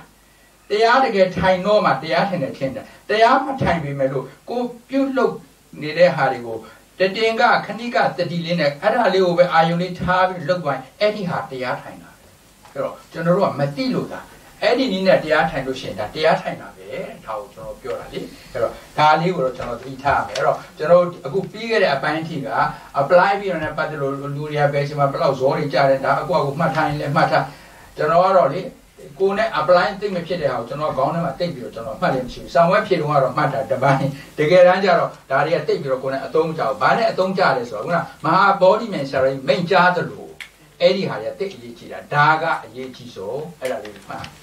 အဲ့တော့ကျွန်တော်ဝီဒီပိုင်းကိုကျွန်တော်ကဟလာကျွန်တော်ပြဋ္ဌာန်းစာအတိုင်းကျွန်တော်လာတဲ့ခါကျတော့တဖြည်းဖြည်းတဖြည်းဖြည်းအဲဟိုဘက်ကောင်းတဲ့ဟာတွေပြောခဲ့ပြီးဗလာသမဘတ်တွေဝင်စားတယ်လီယောသမဘတ်ဝင်စားတယ်ကဟိုတဖြည်းဖြည်းတဖြည်းဖြည်းနဲ့ကျွန်တော်တို့ကအဲအဆုံးပိုင်းကိုရောက်လာတော့တေဂာနီအကြောင်းလည်းပြောရမယ်တဲ့မပြောလို့မရဘူးဘာလို့ဒါတွေကတနေ့ကျွန်တော်တို့ကတွေ့ကိုတွေ့ကြုံရမယ်ဟာမဟုတ်လို့ပြောကိုပြောရမယ်တမကြားခြင်းလည်းပဲဩလူတွေကဘယ်လိုသေတယ်လဲဆိုတဲ့သေတဲ့ဝီကိအစဉ်လေးကိုကျွန်တော်သိရမယ်လေ အဲ့တော့သူက terms လေးရနှစ်ခုရှိတယ်မရဏဆိုတာသေခြင်းတဏ္ဍဆိုတာကျွန်တော်ပြောပြောနေမရဏတဏ္ဍမရဏပြောနေတဏ္ဍဆိုတာနစ်မြုပ်သွားတာနစ်မြုပ်သွားရင်ပေါ်မလာတော့ဆိုတာကတခါတည်းသွားတာပေါ့အဲ့တော့တေဂာနီသူနှစ်ခုပေါင်းထားတော့မရဏတဏ္ဍဇောတေဂာနီချိန်မှာဖြစ်တာအဲ့တော့သူပါဠိတွေကတဏ္ဍဆိုနစ်မြုပ်တဲ့ယုတ်ရှိတယ်အဲ့ဒီမှာကျွန်တော်စာအုပ်တွေမှာစကားလုံးနှစ်မျိုးကျွန်တော်တွေ့ရပါတယ်မရဏတမယနဲ့မရဏတဏ္ဍမရဏတမယဆိုသေရမယ့်ကာလ မရဏတဏ္ဍဆိုတေဂာနီဆဲဆဲအချိန်လေးကိုမရဏတဏ္ဍဆိုတော့ကျွန်တော်အသက်80ကျွန်တော်ကဒီ81မှာတည်မယ်ဆိုရင်အဲ့ဒီ82နှစ်ရောက်တာနဲ့ပဲအဲ့ဒါကျွန်တော်ရဲ့တည်ရမယ့်အချိန်ကာလဖြစ်လို့အဲ့ဒီ82နှစ်ကျွန်တော်ရောက်တဲ့အချိန်မှာဆိုရင်ဒါကျွန်တော်တဲ့မရဏတမယလို့ခေါ်တာပေါ့အကတဲ့ပေါ်မှာလဲလျောက်ပြီးတော့တေဂာနီတိတ်မကြတော့ဘူးနိုင်ပိုင်းတော့ဆိုတာမရဏတဏ္ဏဆိုပေါ့အဲ့ဒါလေးကိုကျွန်တော်ခွဲခြားသိရမယ်လေမရဏတမယဆိုတာအခါကာလ တရဏမရဏတဏ္ဏဆိုတေဂာနီအချိန်တဲ့အဲ့ဒီခါမှာကျွန်တော်ဇောအချိန်ကအမှန်နဲသွားပါပြီတဲ့မန္တဆိုတာအမှန်နဲတာလေမန္တပဝတိဆိုတာကမတေခင်ချိန်တွေကဇောအချိန်တွေအလွန်နဲတာကိုဘယ်လိုခါလဲဆိုတေဂာနီအချိန်တဲ့တတိတက်ပြီးတော့ကျွန်တော်တို့ဒီဆက်နဲ့အသက်ရှူနေရတဲ့ပုံကိုယ်တွေအမိဝမ်းထဲမှာရှိတဲ့ကလေးလေးတွေအဲသူတို့ကလည်းပဲအဲ့ဒီအချိန်ကမှသူတို့ရဲ့ဒီဒီကျွန်တော်တို့ဘယ်လိုခေါ်မလဲဟို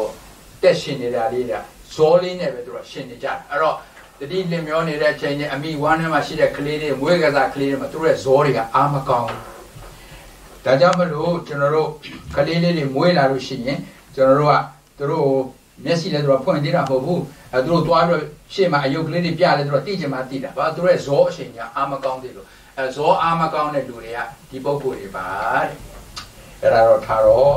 ကျွန်တော်တို့လူကြီးတွေအခုကျွန်တော်တို့ကျွန်တော်တို့ခြေတလန်း in the grave ရောက်နေပြီ အဲ့တော့ကျွန်တော်တို့ရဲ့မရဏတဏ္ဍဇောဝိခိယဒီလိုရှိတယ်တဲ့အဲ့တော့ तू ကဒီတဏ္ဍဇောတေဂာနိဇောက तू က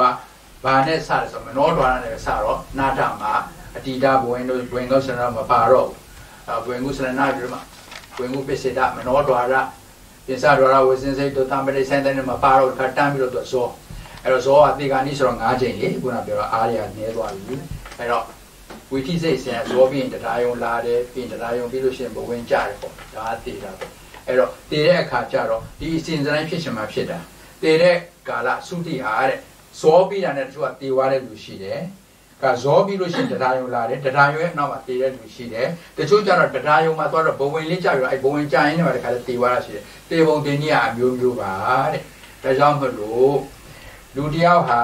ဘယ်အချိန်မှသိမယ်ဆိုတော့ကိုကမသိတဲ့အခါကျတော့ အရေးကြီးတာကကျွန်တော်တို့တွေကကိုယ်ဆွေမျိုးသားချင်းအဖေအမေတွေတည်တော့မယ်ဆိုအနားမှာသွားပြီးတော့ဒါကိုကနောက်ဆုံး respect ပေးတဲ့အနေနဲ့နေကြတယ်။ဒါပေမဲ့တတိထားမှာကအဲ့ဒီအခါမှာကိုကမိုးတန်နေတို့ရီတန်နေတို့ဟာလာစကားတွေမလိုအပ်တာတွေတွားပြီးတော့ပြောရင်အဲ့ဒီဟာလေးကိုအာယုံဆွဲပြီးတော့တည်တဲ့လူကအဲ့ဒီမှာဇောကြသွားရင်အဲ့ဒီမကောင်းတဲ့ဇောကြအဲ့ဒီမှာသူတရေဖြစ်တာတော့တရိษံဖြစ်တာတော့ဖြစ်တာလေအဲ့တော့ကျွန်တော်ကတတိထားရတယ်ကိုယ့်ရဲ့ အဲ့ဒါဟိုဆွေမျိုးသားချင်းတွေတခုဖြစ်ပြီးဆိုကိုကလည်းပြောထားတယ်ပြောထားသူတို့နားမှာသွားပြီးတေဂာနီးအချိန်လေးကသူတို့တက်ကိုတိတ်ကိုအရေးကြီးတဲ့အတွက်ကြောင့်သူတို့ကိုစိတ်ပြောင်းစိတ်လွယ်ဖြစ်သွားနိုင်မဲ့အာယုန်တွေကတ်မသွားအောင်ကျွန်တော်တို့ကနေတတ်ထိုင်တတ်ရတယ်ဘေးရဲ့ဘေးရလူတွေကလေတိတ်ပြီးအရေးကြီးတယ်အဲ့တော့မှဟိုတေဂာနီးကျမှကိုကတော့ရှုံးရှုံးနဲ့လက်ကင်ဘွားလေးနဲ့မြင်သွားအဲ့ဒါကိုမြင်သွားရင်ကိုကြောင့်အဲ့ဒီလူဟာခုနကျွန်တော်တို့ဘဝကူမကောင်းတာတွေဖြစ်သွားရင်မကောင်းဘူးပေါ့အဲ့ဒါလေးကျွန်တော်သတိထားရတယ်ဒါကြောင့်တချို့က ဒီတေရာကတချို့ကဇောရဲ့အနောက်မှာတေတဲ့လူရှိတယ်တချို့ကတရားယုံရဲ့အနောက်မှာတေတာရှိတယ်တေတဲ့စိတ်တွေကလေတချို့ကဇောနဲ့ဘဝင်နဲ့နှစ်ခုတိုင်းမှာတေတာရှိတယ်ဒါတွေလည်းဆောင်းမမှာမေးရမေးကုန်နေတယ်ဒါတွေကတော့ကျွန်တော်တို့ကအခုကတေလဲမတေကြတော့မပြောတတ်ဘူးလေအဲ့တော့ကျွန်တော်ကလည်းအဲ့ဒါတွေအသေးချာမပြောနိုင်ဘူးဒါကတော့စာအနေနဲ့တော့ကျွန်တော်သိအောင်တော့ထားမှာပေါ့အရေးကြီးတာကအဲ့မှာ apply အပြီးတမှာလေမရဏနုဒ္ဒတိမျိုးကိုတဲ့ကျွန်တော်ပွားတင်တယ်တဲ့အဲ့ဒါတိတ်ပြီးတော့အရေးကြီးတယ် အခုကျွန်တော်တို့တရားစခန်းတွေလာတယ်ဆိုလို့ရှိရင်ကျွန်တော်တို့တရားထိုင်တဲ့တရားပြတဲ့ဆရာတော်ဆရာတွေကအဲသူအာနာပါနပဲဆိုတော့အာနာပါနတန်းပြီးတော့ဟာရှုအမှန်ကတော့ဒီကမ္မထမ်းထိုင်နေဆိုတာကဆရာအသိအရေးကြီးတာဘာလို့ဆိုတော့ तू ကဒီကမ္မထမ်းစခန်းကိုလာတဲ့အချိန်တည်းမှာတရားဘယ်လိုထိုင်ရလဲကိုပြောတာထက်ဒီတရားစခန်းထွက်ပြီးတော့အိမ်ကိုပြန်တဲ့အခါမှာဘယ်လိုတရားထိုင်ရမလဲဆိုတော့ပြောဖို့ပိုအရေးကြီးတာဘာလို့ဆိုတော့ကျွန်တော်ကတရားစခန်းမှာအမြဲလာတာမှမဟုတ်တာ တစ်နှစ်မှာနှစ်ခါသုံးခါလာကြံတဲ့ကြံအိမ်မှာရှိတော့အိမ်မှာဘယ်လိုတရားထိုင်ရတယ်ဆိုတော့ပြောနိုင်မှအဲ့ဒီဆရာတကယ်ကိုဆရာဘယ်လိုအိမ်မှာတရားထိုင်ရမလဲဆိုတော့အရေးကြီးတာကအိမ်မှာကိုယ့်အကိုကိုဖျားကမ်းမှာကိုဖျားတရားထိုင်တော့မယ်ဆိုရင်ကျွန်တော်တို့အရင်တော့လေကျွန်တော်ကိုယ်တိုင်ပဲအဲဒီကဟိုနေပါဟိုဖျားလေးဝေပြူဝေပြူလို့ရှိရင်ဒီကမျက်စိလေးမဲပြီးတော့ကအာနာပါနာရှိလို့ဆိုအာနာပါနာအမှန်ကတော့အဲ့ဒါမမှားပါဘူးကောင်းပါတယ် ဒါပေမဲ့လို့နီးစနစ်တကျလုပ်မယ်ဆိုလို့ရှိရင်တကယ်တရားဆရာတွေပြောပုံအရာကတော့ကိုယ့်ရဲ့ပင်တိုင်ကမ္မထမ်းရှိတယ်အယံကမ္မထမ်းရှိတယ်အယံကမ္မထမ်းကလည်းတိတ်အရေးကြီးတာပေါ့ဘာဖြစ်လို့ဆိုတော့ဘုရားလက်ထက်မှာကျွန်တော်လည်းခဏခဏရင်တော့ဓမ္မမရှိလို့ပြောခဲ့လို့ပါတယ်ယဟန်တန်ဃာတွေကလေတရားမြတ်စွာဘုရားရှင်မှာကမ္မထမ်းတောင်းပြီးတော့တရားသွားအထုလို့တော့တော်ရီမှာတစ်ပေဒီမှာသွားပြီးတော့နေကြတဲ့အခါကျတော့တရားတွေအထုတရားအထုလို့မရဘူး ဘာဖြစ်လို့မရဆိုတော့အဲ့ဒီမှာနေတဲ့ယုတ်ကစိုးတွေကအောက်မှာယဟန်တွေတရားလာတယ်သူတို့အပေါ်မှာနေလို့မရတော့ငါနေရာကိုလာလာပြီးတော့အနောက်ဆက်ကိုယ့်အကိုသွားပါလားတနေရာမှာသွားတရားတယ်အဲ့တော့သွားအပေါ်နဲ့အပင်တွေလှုပ်ချတည်ရွယ်တွေချပြည့်ဘဝစိတ်တွေခါခြင်းတွေရောက်အမျိုးမျိုးနှောက်ဆက်တော့တရားထိုင်လို့မရတရားမြတ်စွာဘုရားတရားထိုင်တော့မယ်ဆိုရင်ကိုယ့်အိမ်မှာထိုင်တာတောင်မှအိမ်ဆောင်နှတ်တို့ဘာလို့ညာတို့ညပေးဝေပြီးမှ အဲ့တော့ကိုကတရားထိုင်နေဆိုရင်ကိုယ့်ရဲ့အိမ်ထဲမှာကကိုကအရင်တော့ဝယ်ထားတဲ့အိမ်ကအရင်အရင်အရင်ကတေဝါတဲ့အိမ်တွေရှိမှာပေါ့သူတို့ကလည်းဒီမှာတွားလိုက်ဝင်လိုက်ဝင်လိုက်ထွက်လိုက်ကျွန်တော်ကမသိလို့ဒါအဲ့တော့ကိုကတရားတွေထိုင်တဲ့ကသူတို့မှအနေရအထင်ကကြက်တဲ့ကကိုကနှောက်ယှက်ပေးတယ်ဒါကြောင့်မလို့ကျွန်တော်အယံကမ္မထမ်းလေးကလွတ်ကိုလွတ်ရတယ်အဲ့ဒီမှာ one of the important ကျွန်တော်အယံကမ္မထမ်းကဘာဆိုမရဏနုတ်တတိတဲ့အဲ့ဒါက common ဖြစ်လို့ဘာဖြစ်လို့လဲဆိုတော့ကျွန်တော်တို့တွေက ဓမ္မမိတ်ဆွေတို့တော့မသိဘူးကျွန်တော်တို့တစ်ချိန်လုံးကကျွန်တော်အောက်ခြေလွတ်တယ်ငါစီးပွားရေးငါပတ်စံရရှိတယ်ငါယာတူကဘာငါဘာငါမျိုးကဘာငါအာအဲ့ဒါဒီနဲ့ကျွန်တော်တို့ကအလိုလိုအထောက်တိုက်ဘဝင်မြင့်နေတော့ကျွန်တော်တို့ကအဲ့ဒီဘဝင်မြင့်တဲ့ယောဂကိုနှိမ်ဖို့ကအယံကမ္မထမ်းဒီမရဏနုတ္တိစာအကောင်းဆုံးပဲမရဏနုတ္တိကဘာလို့အဲ့လိုလုပ်ရလဲဆိုတော့ကိုယ့်ကိုတန်ဝေကရတော့မှမမို့ဆိုလို့ရှိရင်မိမိရဲ့ခန္ဓာကိုယ်ကိုကိုယ်တအားချစ်နေတာ လောကကြီးမှာကိုယ်နဲ့ချစ်တဲ့လူတရားမှမရှိကိုယ်ကကိုကိုကိုအချစ်ဆုံးအာဟိုကိုမိမတို့ကိုဇနီးတို့ကိုရီးစားဟောင်းနေဆိုတာစကားအဖြစ်တာပြောတာတကယ်တမ်းတိကျပြောလို့မိမိကိုမိအချစ်ဆုံးကြီးပဲအဲ့ဒီတော့ကိုယ့်ကိုအချစ်ဆုံးဆိုတော့အဲ့ဒီအချစ်ဆုံးကိုတွေ့တာပြီးတော့ကျွန်တော်တို့တက်ကာယဒိဋ္ဌိဆိုတော့ဖြစ်လာတာအဲ့ဒါအဲ့ဒီမိမိကိုမိချစ်နေတာကိုလည်းမချစ်အောင်ရင်လုပ်ရတယ် အဲ့ဒါတိတ်ပြီးတော့အရေးကြီးတော့တော့မေနာနုတ်တိကိုအားကြောင့်ပွားရလဲဆိုတော့ကျွန်တော်တို့ကပြောတယ်ကျွန်တော်တို့ကစီလောဘတွေရှိတယ်ယောဂယာဂတွေရှိတယ်ဒေါသတွေမောဟတွေဓာတ်တွေကိုနည်းသွားအောင်မေနာနုတ်တိကိုဘယ်လိုလုပ်ရလဲဆိုတော့အဲ့ဒါတွေမပြောနဲ့ကောင်းတာတွေလုပ်ပြီးတော့လည်းမာနတက်တာရှိသေးတယ်။ဘာမြတ်စွာဘုရားဟောတာလေတတ္တံတီလံတုတ္တံစာကံပညာဥပနိတယမာနံဇပ်ပိတိတဲ့ဒိဋ္ဌိကနာတိတဲ့ တရားတရားတွေကောင်းလို့ဥပုပ်တွေစောင်းလို့ဘုဟုတုတတွေသိများလို့အမလေးအကျင့်စာရိတ္တတွေကောင်းလို့ပညာတွေလည်းတော်လိုက်တာအဲ့ဒါတွေကိုပြီးပြီးတော့မာနဆိုတာတက်တတ်တယ်တဲ့မြတ်စွာဘုရားဒီတန်းကဟုတ်လဲဟုတ်တာပဲအဲ့တော့အဲ့ဒါနဲ့အယူဆတွေမှားလို့မရဏနုတ္တိလို့ပွားရမယ်အဲ့တော့တရားမထိုင်ခင်ကိုယ့်အကိုပင်တိုင်းကမ္မထဘာကိုပဲလုပ်လို့မျက်စိလေးမဲပြီးတော့မိမိရဲ့အာယုန်ထဲမှာဂတင်ဆောင်လေးပေါ်မှာမိမိရဲ့ခန္ဓာကိုယ်ကြီးပက်လက်လန်ပြီးတော့တင်းနေတယ်လို့အာယုန်ပြုလိုက် အာယုံပြူပြီးလို့ရှင်အဲ့ဒါ9ရက်လောက်ကြာရင်ဘိုက်ကြီးကဖောင်းလာမယ်မျက်နှာတွေဖော်လာမယ်အရည်တွေကျလာမယ်နှာခေါင်းတို့နေရွက်တို့အရည်ကျအဲ့ဒါကိုအာယုံထဲမှာမြင်အောင်ကြည့်အဲ့ဒီကြည့်နေတဲ့စိတ်လေးငြိမ်နေလို့ရှိရင်အဲ့ဒါကလည်းဒါမရဏနှုတ်တိပဲ။ဩတကယ်တမ်းကျတော့ငါ့ကိုငါလှတယ်ထင်နေတာငါမျက်ခုံးလေးနှာခေါင်းလေးပါးစပ်ကလေးကတော့လှတယ်ထင်တကယ်တမ်းကျတော့အခုမှကြည့်ပါဦးအာယုန်ထဲမှာအဲ့ဒါလိုအာယုန်လေးကိုယူပြီးတော့မရဏနှုတ်တိမိမိခန္ဓာကိုယ်ကြီးကိုယုံမုန်းလာအောင်ရှင်းရပါတယ်တဲ့။အဲ့ဒါလိုရှင်းလိုက် 9မိနစ်9မိနစ်တော့အချိန်လေးလှုပ်ထားပြပါအဲ့ဒါဆိုလို့ရှိရင်သူကတံဝေကတွေဝင်ဝင်ဝင်ဝင်လာလို့ရှိရင်ကျွန်တော်တို့မှာရှိနေတဲ့လောဘတို့ယာကတို့ဒေါသတို့မောဟတို့မာနတို့ဆိုတာတဖြည်းဖြည်းနည်းလာပါတယ်တဲ့မရဏနုတ်တိကတိတ်ကိုအတုံးဝင်ပါတယ်တဲ့အဲ့ဒါပြီးတော့9မိနစ်10မိနစ်လောက်လုပ်ပါတဲ့ဖြစ်နိုင်လို့ရှိရင်လေအဲ့ဒါကတိတ်အရေးကြီးတယ်ပြီးရခါကြတော့မှတရားထိုင်တော့မယ်ဆိုရင်မထိုင်ခင်လုပ်ရမယ်ဥပကိစ္စတွေရှိတယ်တဲ့ အဲ့ဒါလေးရတယ်လေကျွန်တော်တည်ထားတယ်ဒါ apply တွေဒါတရားထိုင်တော့မယ်ဆိုဒါပြီးဒီမှာထဲမှာတော့မပါဘူးဒါဝိသုဒ္ဓိမက်ကနေကျွန်တော်ဆွဲယူပြီးတော့ဒီမှာ apply ဖြစ်အောင်လို့အဲ့တော့တရားထိုင်တယ်ဆိုတာကကျွန်တော်တို့ကစပြီးတော့အာနာပါနထိုင်မယ်ဆိုတော့ပြီးတော့ခါတဲ့ရေမိုးလေးချိုးပြီးတော့အိမ်လေးပဲဝေးပြီးတော့တရားထိုင်တယ်အဲ့လိုလုပ်တာတဲ့အမှန်တော့နှုတ်သတိလေးကို9မိနစ်10မိနစ်ပွားပါတဲ့ပြီးတဲ့အခါကျတော့မှပင်တိုင်းကံမထောင်းကိုလုပ်တော့မယ်ဆိုလို့ရှိရင်ကျွန်တော်တို့အဲ့ဒီပုဗ္ဗကိစ္စဆိုတာလေအရေးကြီးတယ် ဘာဖြစ်လို့လဲဆိုတော့ဒီမှာကြည့်လေကိုစိတ်စင်ကြယ်တဲ့တီလာတွေကိုစိတ်စင်ကြယ်ဆိုတာဟုတ်တယ်အဲ့ဒါကျွန်တော်တို့ကကိုစိတ်စင်ကြယ်ဆိုတော့ကိုစင်ကြယ်တယ်ဆိုတာဒီလိုလေကျွန်တော်တို့ကဒီမှာနေတော့ချွေးမထွက်ပါမတဲ့ဆိုတော့ကိုယ့်ကွာအမြဲတမ်းတန့်ပြန့်နေတာ ဗမာပြည်လိုနေရာမျိုးသွားလို့ရှိရင်အမလေးနက်နက်လှုပ်လိုက်ချွေးတွေကထွက်ဂျိုင်းကြဟာတခါလေချွေးပြပြကြတယ်အဲ့တော့အဲ့လိုခါမျိုးကတရားသွားတယ်လို့ရှိရင်တမာတိကအသိမတက်ဘူးအဲ့ကိုစိတ်စင်ကြယ်ဆိုတာအဲ့တော့အင်ရှင်မတွေလည်းပဲဟင်းတွေပဲချက်ပြုတ်ပြီးလို့ရှိရင်သူတို့ကမဟာလာအကျော်နှံ့နဲ့ခုနငပိအနံ့နေတယ်ဟာတခါတိန်လုံးထောင်းထောင်းထ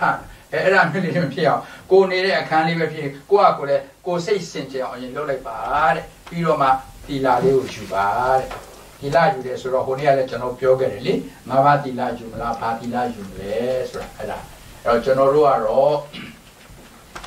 တရားထိုင်တယ်ဆိုတာမက်ခင်ရှင်ပါကိုလွတ်တဲ့ကြောင့်လို့ကျွန်တော်တို့ကမက်တီလာကိုယူတာကောင်းပါတယ်တဲ့ဟိုနေ့ကလည်းကျွန်တော်ပြောတယ်လေမက်တီလာမက်တီလာဆိုတာဘာလဲဆိုတော့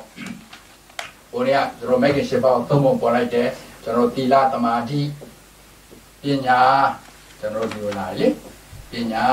ဆိုတော့ပညာအုပ်စုမှာဆိုလို့ရှိရင်ကျွန်တော်တမာဒိဋ္ဌိတမာသင်္ကပ္ပအဲ့ဒါတွေပညာအုပ်စုကျွန်တော်တို့အဲ့လိုလေကျွန်တော်တို့ဟိုနေ့ကပြောတယ်ဒီမှာဆိုလို့ရှိရင်တမာဝါစာတမာကမ္မန္တာတမာအာဇီဝဒါလေးသုံးခုရှိတယ်တမာဝါစာတမာကမ္မန္တာတမာအာဇီဝ ဒီမှာကျတော့ကျွန်တော်ကတမာဝါယမတမာတတိတမာတမာတိအဲ့တော့မဂ္ဂင်ရှင်ပါကိုဒီလိုအုပ်စုခွဲပြီးချက်လိုက်လွယ်လွယ်လေးအုပ်စုက၃ခုဒီလအုပ်စုတမာတိအုပ်စုပညာအုပ်စုဒါပေမဲ့မဂ္ဂင်ရှင်ပါကိုစောင့်တဲ့တွေ့ရင်ဒီရပဲစတယ်တမာဒိဋ္ဌိတမာသင်္ကပ္ပတမာဝါစာတမာကမ္မန္တတမာအာစီဝတမာဒီလိုလာပြောတဲ့သူတွေကဒါပေမဲ့ပြောတဲ့အခါကျတော့တရားဟောတဲ့အခါကျတော့ဆရာတော်တွေကသီလသမာဓိပညာ အဲ့ဒါလေးလည်းကျွန်တော်တို့သိထားရမယ်ဘုသူတာကြီးဘယ်နဲ့စာရေးတော့ကတော့ဒီဟာပြောတယ်တရားဟောတော့ဒီဟာစပြောတယ်ဘာသဘောလဲဒါကျွန်တော်သိထားရမယ်လေဒါကသီလသမာဓိပညာဆိုဟောစဉ်အနေနဲ့ပြောတာဟောစဉ်အနေနဲ့ကျတော့အခြေခံအကြဆုံးကို practical အကြဆုံးကိုဟောတဲ့ခါမှာရင်ပြောတာဒါကဒေသနကမာဆိုတာဒေသနာကိုစာအနေနဲ့ပြောမယ်ဆိုရင်ပညာအရေးကြီးလို့စာအုပ်ထဲမှာရေးရင် ကျွန်တော်တို့သမာဓိဋ္ဌိသမာသင်္ကပ္ပစလာတယ်အဲ့တော့စာနဲ့ practical နဲ့မတူဘူးပေါ့ဒါလေးကိုကျွန်တော်သတိထားစာထဲမှာဆိုတော့ပညာအုပ်စုအရင်ပြောတော့အရေးကြီးတာ哦လက်တွေ့ကြတော့ဒီပညာတွေမရခင်မင်းကိုယ်ရဲ့ကျင့်တဲ့သီလကအရေးကြီးလို့ practical အနေနဲ့ဒါကအရေးကြီးလို့ practical ပြောတော့သီလသမာဓိပညာအနေနဲ့ပြောတယ်တရားဟောလို့ရှိရင်စာထဲမှာကျတော့ပညာသီလသမာဓိဒီလိုသွားတယ်အဲ့ဒါလေးကိုလည်းကျွန်တော်သဘောပေါက်အောင်ဒါတချို့ကမေးကြတယ် အဲကျွန်တော်မရှင်းဘူးလေမဂ်ခင်ရှင်းပါဦးဒီပြောတော့သီလသမာဓိပညာတဲ့စာရေးတော့ဒီလိုဘာဖြစ်လို့ပြောင်းမြန်နေဖြစ်တယ်ပြောင်းမြန်အကြောင်းရှိတယ်မြတ်စွာဘုရားဒီတိုင်းမဟုတ်ဘူးဟောစဉ်အနေနဲ့ဒေသနကမှာပညာနဲ့စာအနေနဲ့လေ့လာမယ်ဆိုလို့ရှိရင်တော့ဒီလိုရေးတယ်ဒါပေမဲ့လက်တွေ့ကတော့ဒီလိုပြောရတယ်စာအနေနဲ့ဆိုရင်သူ့ကိုစပြောသူကသူကအရေးကြီးလို့ထားတော့ကျွန်တော်တို့ကသီလနဲ့ဆိုတာဒီမှာကြည့်တမဝါစာတမကမ္မန္တတမအာဇီဝဒီသုံးခုကိုခြုံထားတဲ့သီလကြီးငါးပါးသီလမဟုတ်ဘူး အဲ့ဒါကိုကျွန်တော်ကသိထားအာဇီဝဋ္ဌမကသီလတဲ့အဲ့ဒါကိုကျွန်တော်ကအိမ်မှာကျင့်ရတယ်အာဇီဝဋ္ဌမကသီလအဲ့ဒါလေးကိုကျွန်တော်တို့ကတော့ဘာလဲဆိုတော့အတူတူပါပဲပါဏာတိပါတာအဒိနာဒါနာအမေသူမိစ္ဆာစာရမုဒ္ဒဝါဒမုဒ္ဒဝါဒပြီးတော့မှဒီသုံးခုထပ်ထည့်ရတယ် ကျွန်တော်တို့အဲ့ဒီမှာပါဆိုဒီဓမ္မဝါစာပါလဲဆိုပိတုနာဝါစာပရုဒ္ဒဝါစာတပ္ပပလဘဝါစာပြီးတော့မှအာဇီဝကျတော့မိစ္ဆာစီဝဒါကိုပါသွားအောင်လို့ကျွန်တော်တို့ကမုဒ္ဒဝါဒလေးကို၅ပါးသီလနဲ့မုဒ္ဒဝါဒဆိုရင်မလုံလောက်သေးဘူးတဲ့အကုသိုလ်တွေအဖြစ်ဆုံးကဗဇက်ကအဖြစ်အများဆုံးမလို့ဗဇက်ကိုမြတ်စွာဘုရားထိန်ခိုင်းတဲ့အခါမှာမုဒ္ဒဝါဒတစ်ခုတည်းနဲ့မရလို့ပိတုနာဝါစာဖရုဒဝါစာတမ္ပပလဘဝါစာဒါတွေပါထိရမှာတဲ့သီလစောင့်နေတဲ့ တရားအားထုတ်တဲ့ပုဂ္ဂိုလ်ကအဲ့ဒီအာဇီဝန္တရသီလကိုမစောင့်တည်ပဲနဲ့၅ပါးသီလပဲဆိုရင်သူကမုဒ္ဒဝါဒလေးကိုတော့ရှောင်ကျင်လိုက်တယ်ဒါပေမဲ့အတင်းတွေအဖြစ်တွေပြောမယ်မဆိုင်တာတွေပြောမယ်အနှစ်သာရမရှိတွေပြောမယ်ဆိုလို့ရှိရင်အဲ့ဒီသီလကမတည်မြဲတဲ့အကြောင်းကိုတမာတိကမတက်တော့ဘူးတဲ့ကျွန်တော်တို့တရားလို့မရတာဘာမှစမ်းမဟုတ်ကျွန်တော်တို့က၅ပါးသီလလေးကိုယူပြီးတော့ဟသွားပြီးတော့ရှူရှဲရှူရှဲလုပ်တယ်ဘာတွေလုပ်အဲ့တော့တီလာကိုက foundation ကမှမကောင်းတာဘယ်လိုလုပ်ဒါတွေတက်လာမလဲ အ ਨੇ ဆုံးတရားအားထုတ်ပြီးဆိုရင်အိမ်မှာအာဇီဝထရတီလာကိုယူရပါတယ်တဲ့။ဘာဖြစ်လို့လဲ။ဒါကိုကာဘာဖြစ်ချင်လို့တမဝါစာတမကမန္တတမအာဇီဝဖြစ်လို့အာဇီဝထရကတီလာကိုယူပါတဲ့။ဒါကတရားအားထုတ်တဲ့လူမှာအမတန်အရေးကြီးတာပေါ့။လူတွေကခံရင်းနဲ့ငါးပါးသီလမြင်ရင်အပေပိတ်တယ်အပေတကားပိတ်တယ်ထားပါအဲ့ဒါကြီးကငါးပါးသီလကမုဒ္ဒဝါဒကိုပဲကာဘာလုပ်ထားတယ် ခုနတမဝါစာဆိုတာကောင်းသောပြောဆိုခြင်းဆိုတာတကယ်တော့ကောင်းသောပြောဆိုခြင်းဆိုတာဒီပါဇက်ကိုပိတ်ထားတာကောင်းသောပြောဆိုခြင်းနဲ့ဒါတည်းကောင်းတာမရှိတော့ဘာမှမပြောတော့ဇစ်ပိတ်ထားလိုက်တာဘာဆိုဘာမှမပြောတော့ဘူးဆိုရင်အဲ့ဒါအကောင်းဆုံးပဲတဲ့အဲ့ဒါကြောင့်လို့အဲ့ဒီဟာကိုကာဗာလုပ်ချင်လို့အာဇီဝိရကတီလာကိုယူရပါတယ်တဲ့ဒါလို့ကျွန်တော်သိထားရမယ်လေအဲ့တော့အဲ့ဒါလို့ယူပြီးတော့မှအဲ့တီလာတွယ်စီဆိုတာအဲ့ဒါကိုပြောတာပါဒါကြောင့်ကျွန်တော်အမဲလိုင်းလေးနဲ့တားထားတယ်ဖြန့်ဝေမေတ္တာလွမ်းတဲ့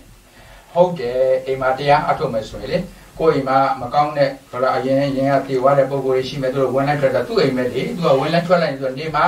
အဲ့တော့သူအင်္ဂလိပ်တရားဖြစ်နေတော့ပရိတ်ရွတ်တော့သူအရင်မလုပ်ဘူးပြီးဦးလေနားမလဲတာသူကကိုကအင်္ဂလိပ်လိုဘာမှဆရာတော်တွေပြပြီးတော့ပရိတ်ရွတ်ပြီးတော့သူတို့အတွက်ကတိတ်ပြီးတော့ effect ဖြစ်ရှင်မှာဖြစ်မှာကျွန်တော်ပြောလို့မရဘူးအဲ့တော့ရှိနေတာပဲအဲ့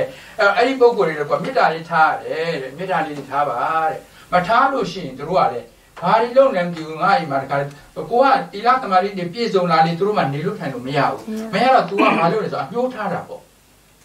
ကိုငါငါကြောင့်သူတို့ကြောင့်ငါအိမ်မှာငါရင်သွားလို့ထွက်လို့မရတော့ဘူးဆိုတော့ငါဘာလို့ရင်ကောင်းမလဲဆိုတော့သူကစောင့်နေတာလေအဲကိုတခုဖြစ်မဲ့အဲ့ဒါကိုကမှလေကားလေးကစင်လာတယ်သူကတွန်းရင်တွန်းချပြောလို့မရဘူးဒါမျိုးတွေဖြစ်တတ်တယ်အဲဒါကြောင့်အမြဲတမ်းမေတ္တာလေးကိုပို့ပြီးတော့မှတရားထိုင်ပါတိတ်အရေးကြီးပါတယ်မေတ္တာလွှမ်းပြီးတော့ကမ္မထမ်းယူခန္ဓာကိုလည်းလှူရတယ် ခန္ဓာမလှူလို့မရဘူးလေတရားထိုင်နေတဲ့သေဝနိုင်တယ်ကျွန်တော်သင်္ကန်းချင်းအကြောင်းတွေပဲတရားအားထုတ်နေနေ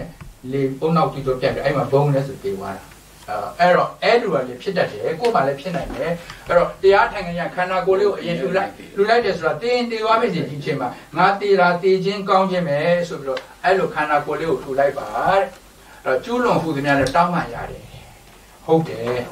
ကျွန်တော်တို့တွေကလေပါဇက်ကပေါက်ပေါက်ဆိုပြီးတော့ဘုန်းကြီးလဲကျွန်တော်ဝေဖန်လိုက်တာပဲ ကိုနဲ့ဝေဖန်လွတ်တဲ့လူကဘာမှရှားလို့တရားမှမရှိဘူးအကုန်ကျွန်တော်ဝေဖန်တာကြီးပဲဟိုနိုင်ငံအုပ်ချုပ်တဲ့လူလည်းပဲဝေဖန်ထားတာပဲကိုကပြောထားတာရကြမရှိဘူးလေအဲ့ဒါကိုနဲ့မတည့်တဲ့လူကတော့ပြောမနေနဲ့တော့အဲ့တော့အဲ့ဒီဟာတွေကအဖြစ်ရှိတယ်တဲ့အဲ့ဒီလူတွေကိုကျွန်တော်ကတောင်းပန်ရတယ်အဲ့တောင်းပန်တဲ့ခါတော့တယောက်ချင်းလိုက်တောင်းပန်လို့မရတော့ဒီကနေပြီးတော့ကာယကံဝစီကံမနောကံနဲ့ပြုလုပ်ခဲ့သမျှဟာတွေရှိရှိသမျှတတ်တော်ရတယ်အကုန်လုံးကိုကိုကခါတဲ့တကယ်ကိုဥညှို့ပြီးတော့တောင်းပန်ရတယ် အဲ့တော့မှကိုကကိုကိုနှိမ့်ချလိုက်တော့မှကိုကအရိယာဘောဖြစ်မှာပေါ့ကိုကမာနာတကွဲသားနဲ့တရားထိုင်လို့ဘယ်ဖြစ်မလဲလမ်းမကြီးထောင်ပြီးတော့တရားထိုင်လို့မဖြစ်တဲ့အတွက်ကြောင့်မလို့ကျွန်တော်တို့ကအဲ့ဒီကျူးလွန်တဲ့ကာယကဝစီကံတော့တောင်းပန်ပြီးတော့မှတမာတွေကနာကောင်းနေမှကိုကိုဆောင်းလျှောက်ပါဆိုတော့သူကမေတ္တာရက်ခံရတယ်ပြီးတဲ့အခါကျတင့်တော်တဲ့နေရာမှာစိတ်ငြိမ်တဲ့အခါလေးကိုရွေးပြီးတော့တဲ့အတိတ်ထံလေးနဲ့တဲ့ ဘယ်လိုထိတာပြောငါတော့တရားကိုဒီနေ့တော့15မိနစ်ငါယူဝက်တနားထိုင်မယ်ဆိုတဲ့အတိတ်ထံလေးနဲ့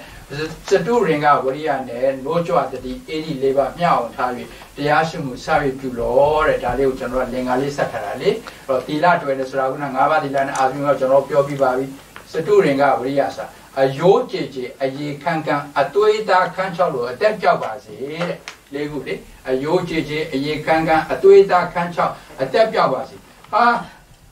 ငါတော့ဒီနေ့သောတာပန်မဖြစ်ရင်တရားမထားတော့လို့မဟုတ်ဘူးအဲ့ဒါပြောတာမဟုတ်ဘူးဟိုတိပြအကောင့်မလွဲနဲ့လေဒီအတရားထိုင်နေတဲ့အချိန်ခါအတွင်းမှာတခုခုဖြစ်ရင်ဖြစ်သွားပါစေငါတရားထိုင်နေတော့ဟိုက drone နဲ့လူနေကဘုံချလိုက်ရင်ကြပါစေကြည့်အဲ့လိုဟာမျိုးပေါ့အဲ့တော့တရားထိုင်နေတဲ့အချိန်ခါလေးမှာဘာပဲဖြစ်ပါစေဖြစ်ပါစေ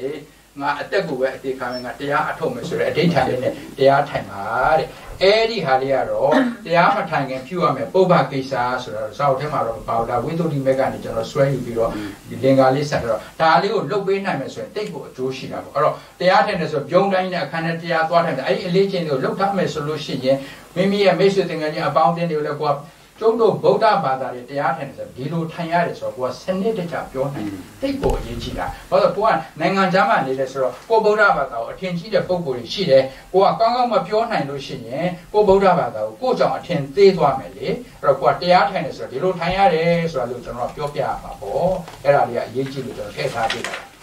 ဒီမှာကျွန်တော်တို့ကာမပုံသားတွေဘယ်လိုပဋိတန်တွေဇောကြဟောခုနကျွန်တော်သေတာကိုကျွန်တော်ကလေ့လာပြီးပြီ သေတော့ဘဝကိုကူပြီးတော့ဘဝဖြစ်တာလေးကိုလည်းကျွန်တော်ကလေ့လာအဲ့ဒါကတော့ကျွန်တော်တို့ဒါတွေကလည်းတကယ်တမ်းကျတော့ကိုက theory တွေပဲလေကိုကလည်းဘဝမှာအချိန်ပေါင်းများစွာတည်ပြီးပြီအချိန်ပေါင်းများစွာလည်းတတ္တဝါတွေဖြစ်ခဲ့ပြီးပြီဒါတွေကကျွန်တော်ကပြန်မမှတ်မိတော့အဲ့ဒါကစာအနေနဲ့ပဲကျွန်တော်ကလေ့လာရတာပေါ့အခုလည်းဒါကကျွန်တော်ကဒါ theory ပါပဲကာမဘုံကတော့ဘယ်လိုပရိဒံတွေကြဆိုတော့သုတိကြပြီကျွန်တော်သိပြီဆိုတော့သုတိ ဒီမှာကကျွန်တော်တို့ဘဝအစပေါ့နော်ဘဝအစနောက်ဘဝအတိတ်ပေါ့အတိတ်ကိုစပြီအဲ့တော့ဒီနှစ်ခုကိုကျွန်တော်ကဒီမှာကျွန်တော်ကသေသွားပြီသေသွားတဲ့အခါကျတော့ဓမ္မမိတ်ဆွေတို့ကျွန်တော်တို့ကဒီသေတာနဲ့ဘဝတစ်ခုမှာစတာနဲ့ကအချိန်ကဘလောက်กว่าသလဲဆိုရင်ဘာမှသိမကွာဘူးကိုလေးရကျွန်တော်ပြောခဲ့သလိုပဲဒီဘက်မှာကဆိုပါတော့ ဒါသေတယ်ဒီဘဝမှာဒါဟိုဘက်မှာဘဝအသစ်တစ်ခုဖြစ်မယ်ဒီမှာဇောတွေကြမယ်ဒီကသေတာနဲ့ဘလောက်ကြာလဲဒီဒီတန်လုံးလေးနှလုံးကိုပဲကြည့်လိုက်ပေါက်ဆိုဟိုမှာဖြစ်သွားအဲ့ဒါလောက်ပဲကြာတယ်အဲ့တော့ကျွန်တော်တို့ကဒီထဲမှာဖြစ်နေတဲ့ဟာလေးတွေကိုကျွန်တော်တို့ကဒီဟာတွေကမြတ်စွာဘုရားကရှင်းပြလို့ဒါဒီဟာတွေကိုအစိတ်အစိတ်အစိတ်အစိတ်ကျွန်တော်လေ့လာခွင့်ရတာတကယ်တမ်းကျတော့ဒီကဒိုင်းဆိုဟိုဘက်ကနေပြီးဒီမှာသေပြီဆိုတာနဲ့ဟိုဘက်ကဘဝဖြစ်သွားပြီအဲ့တော့အကြားမရှိဘူး အဲ့ဒါကိုကျွန်တော်ပြောချင်အဲ့တော့အကြားလည်းမရှိပါဘူးတဲ့ဒီသေတာနဲ့ဒါပေမဲ့စာအနေနဲ့လေ့လာတဲ့အခါကျတော့အဲ့တော့အစိတ်အစိတ်ဖြစ်အောင်ကျွန်တော်ခွဲခြမ်းစိတ်ဖြာပြီးတော့ကျွန်တော် slow motion နဲ့ဒါကျွန်တော်လေ့လာတာလေ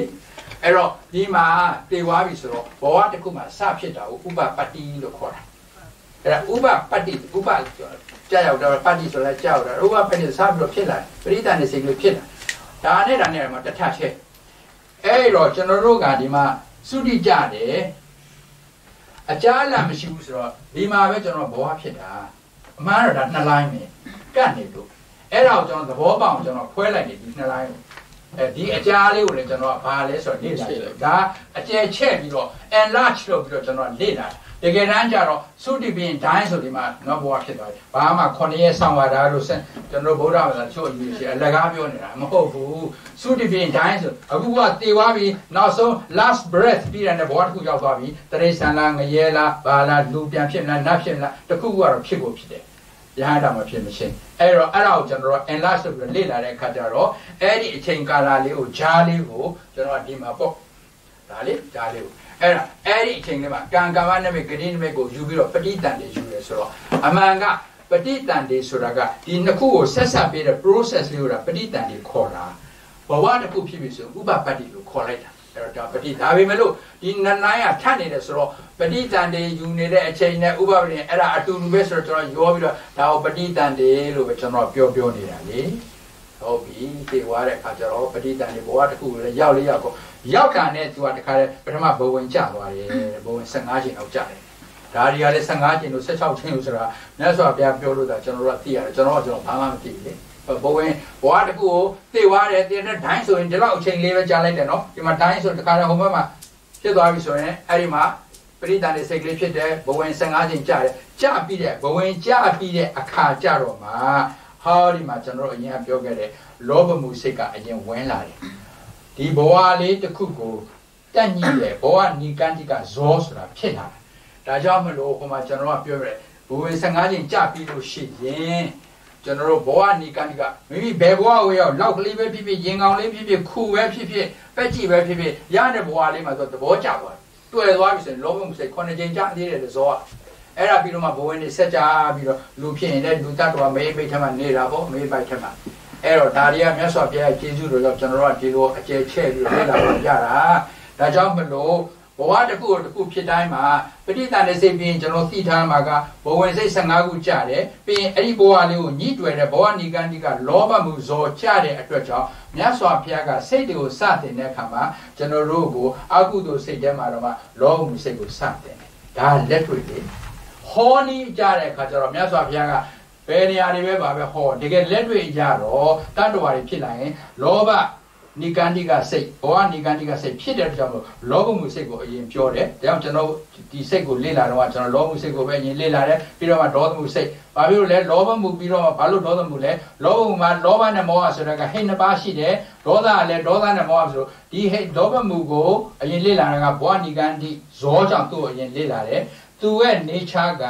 သူကဒုဟိတ်ဖြစ်နေတဲ့ လောဘနဲ့မောဟပါလို့သူနဲ့အလားတူတဲ့ဒေါသနဲ့မောဟနှစ်ခုဒုဟိတ်ကိုပဲလေ့လာတယ်သူပြီးတော့မှမောဟမောဟကြသူတခုတည်းမလို့ကဧကဟိတ်မလို့သူ့ကိုဒီလိုလေ့လာအဲ့ဒါပြီးတဲ့အခါကျတော့မှဟိုဘက်ကကောင်းတဲ့စိတ်ကိုမလာခင်အလဲမှာအလဲ neutral mind ကိုအာရိစိတ်ကိုလေ့လာတယ်ပြီးတဲ့အခါကျတော့မှကျွန်တော်သောပနာစိတ်တွေမဟဲကုတ်စိတ်တွေဒီလိုသွားတယ်ဒါက practical အနေနဲ့မြတ်စွာဘုရားပြောလို့ဒါကြောင့်မို့ကျွန်တော်တို့တချို့ကမေးမယ်ဒီစိတ်တွေမှာဘာဖြစ်လို့ကောင်းတဲ့စိတ်တွေကလေးစပြီးတော့မလေးလာတယ်မဟုတ်ဘူးလက်တွေ့အရာ ဒီဟာကိုဘောအနိကန်တဲ့စိတ်ကြောင့်ကျွန်တော်ကအဲ့ဒါကိုလေ့လာရတာတဲ့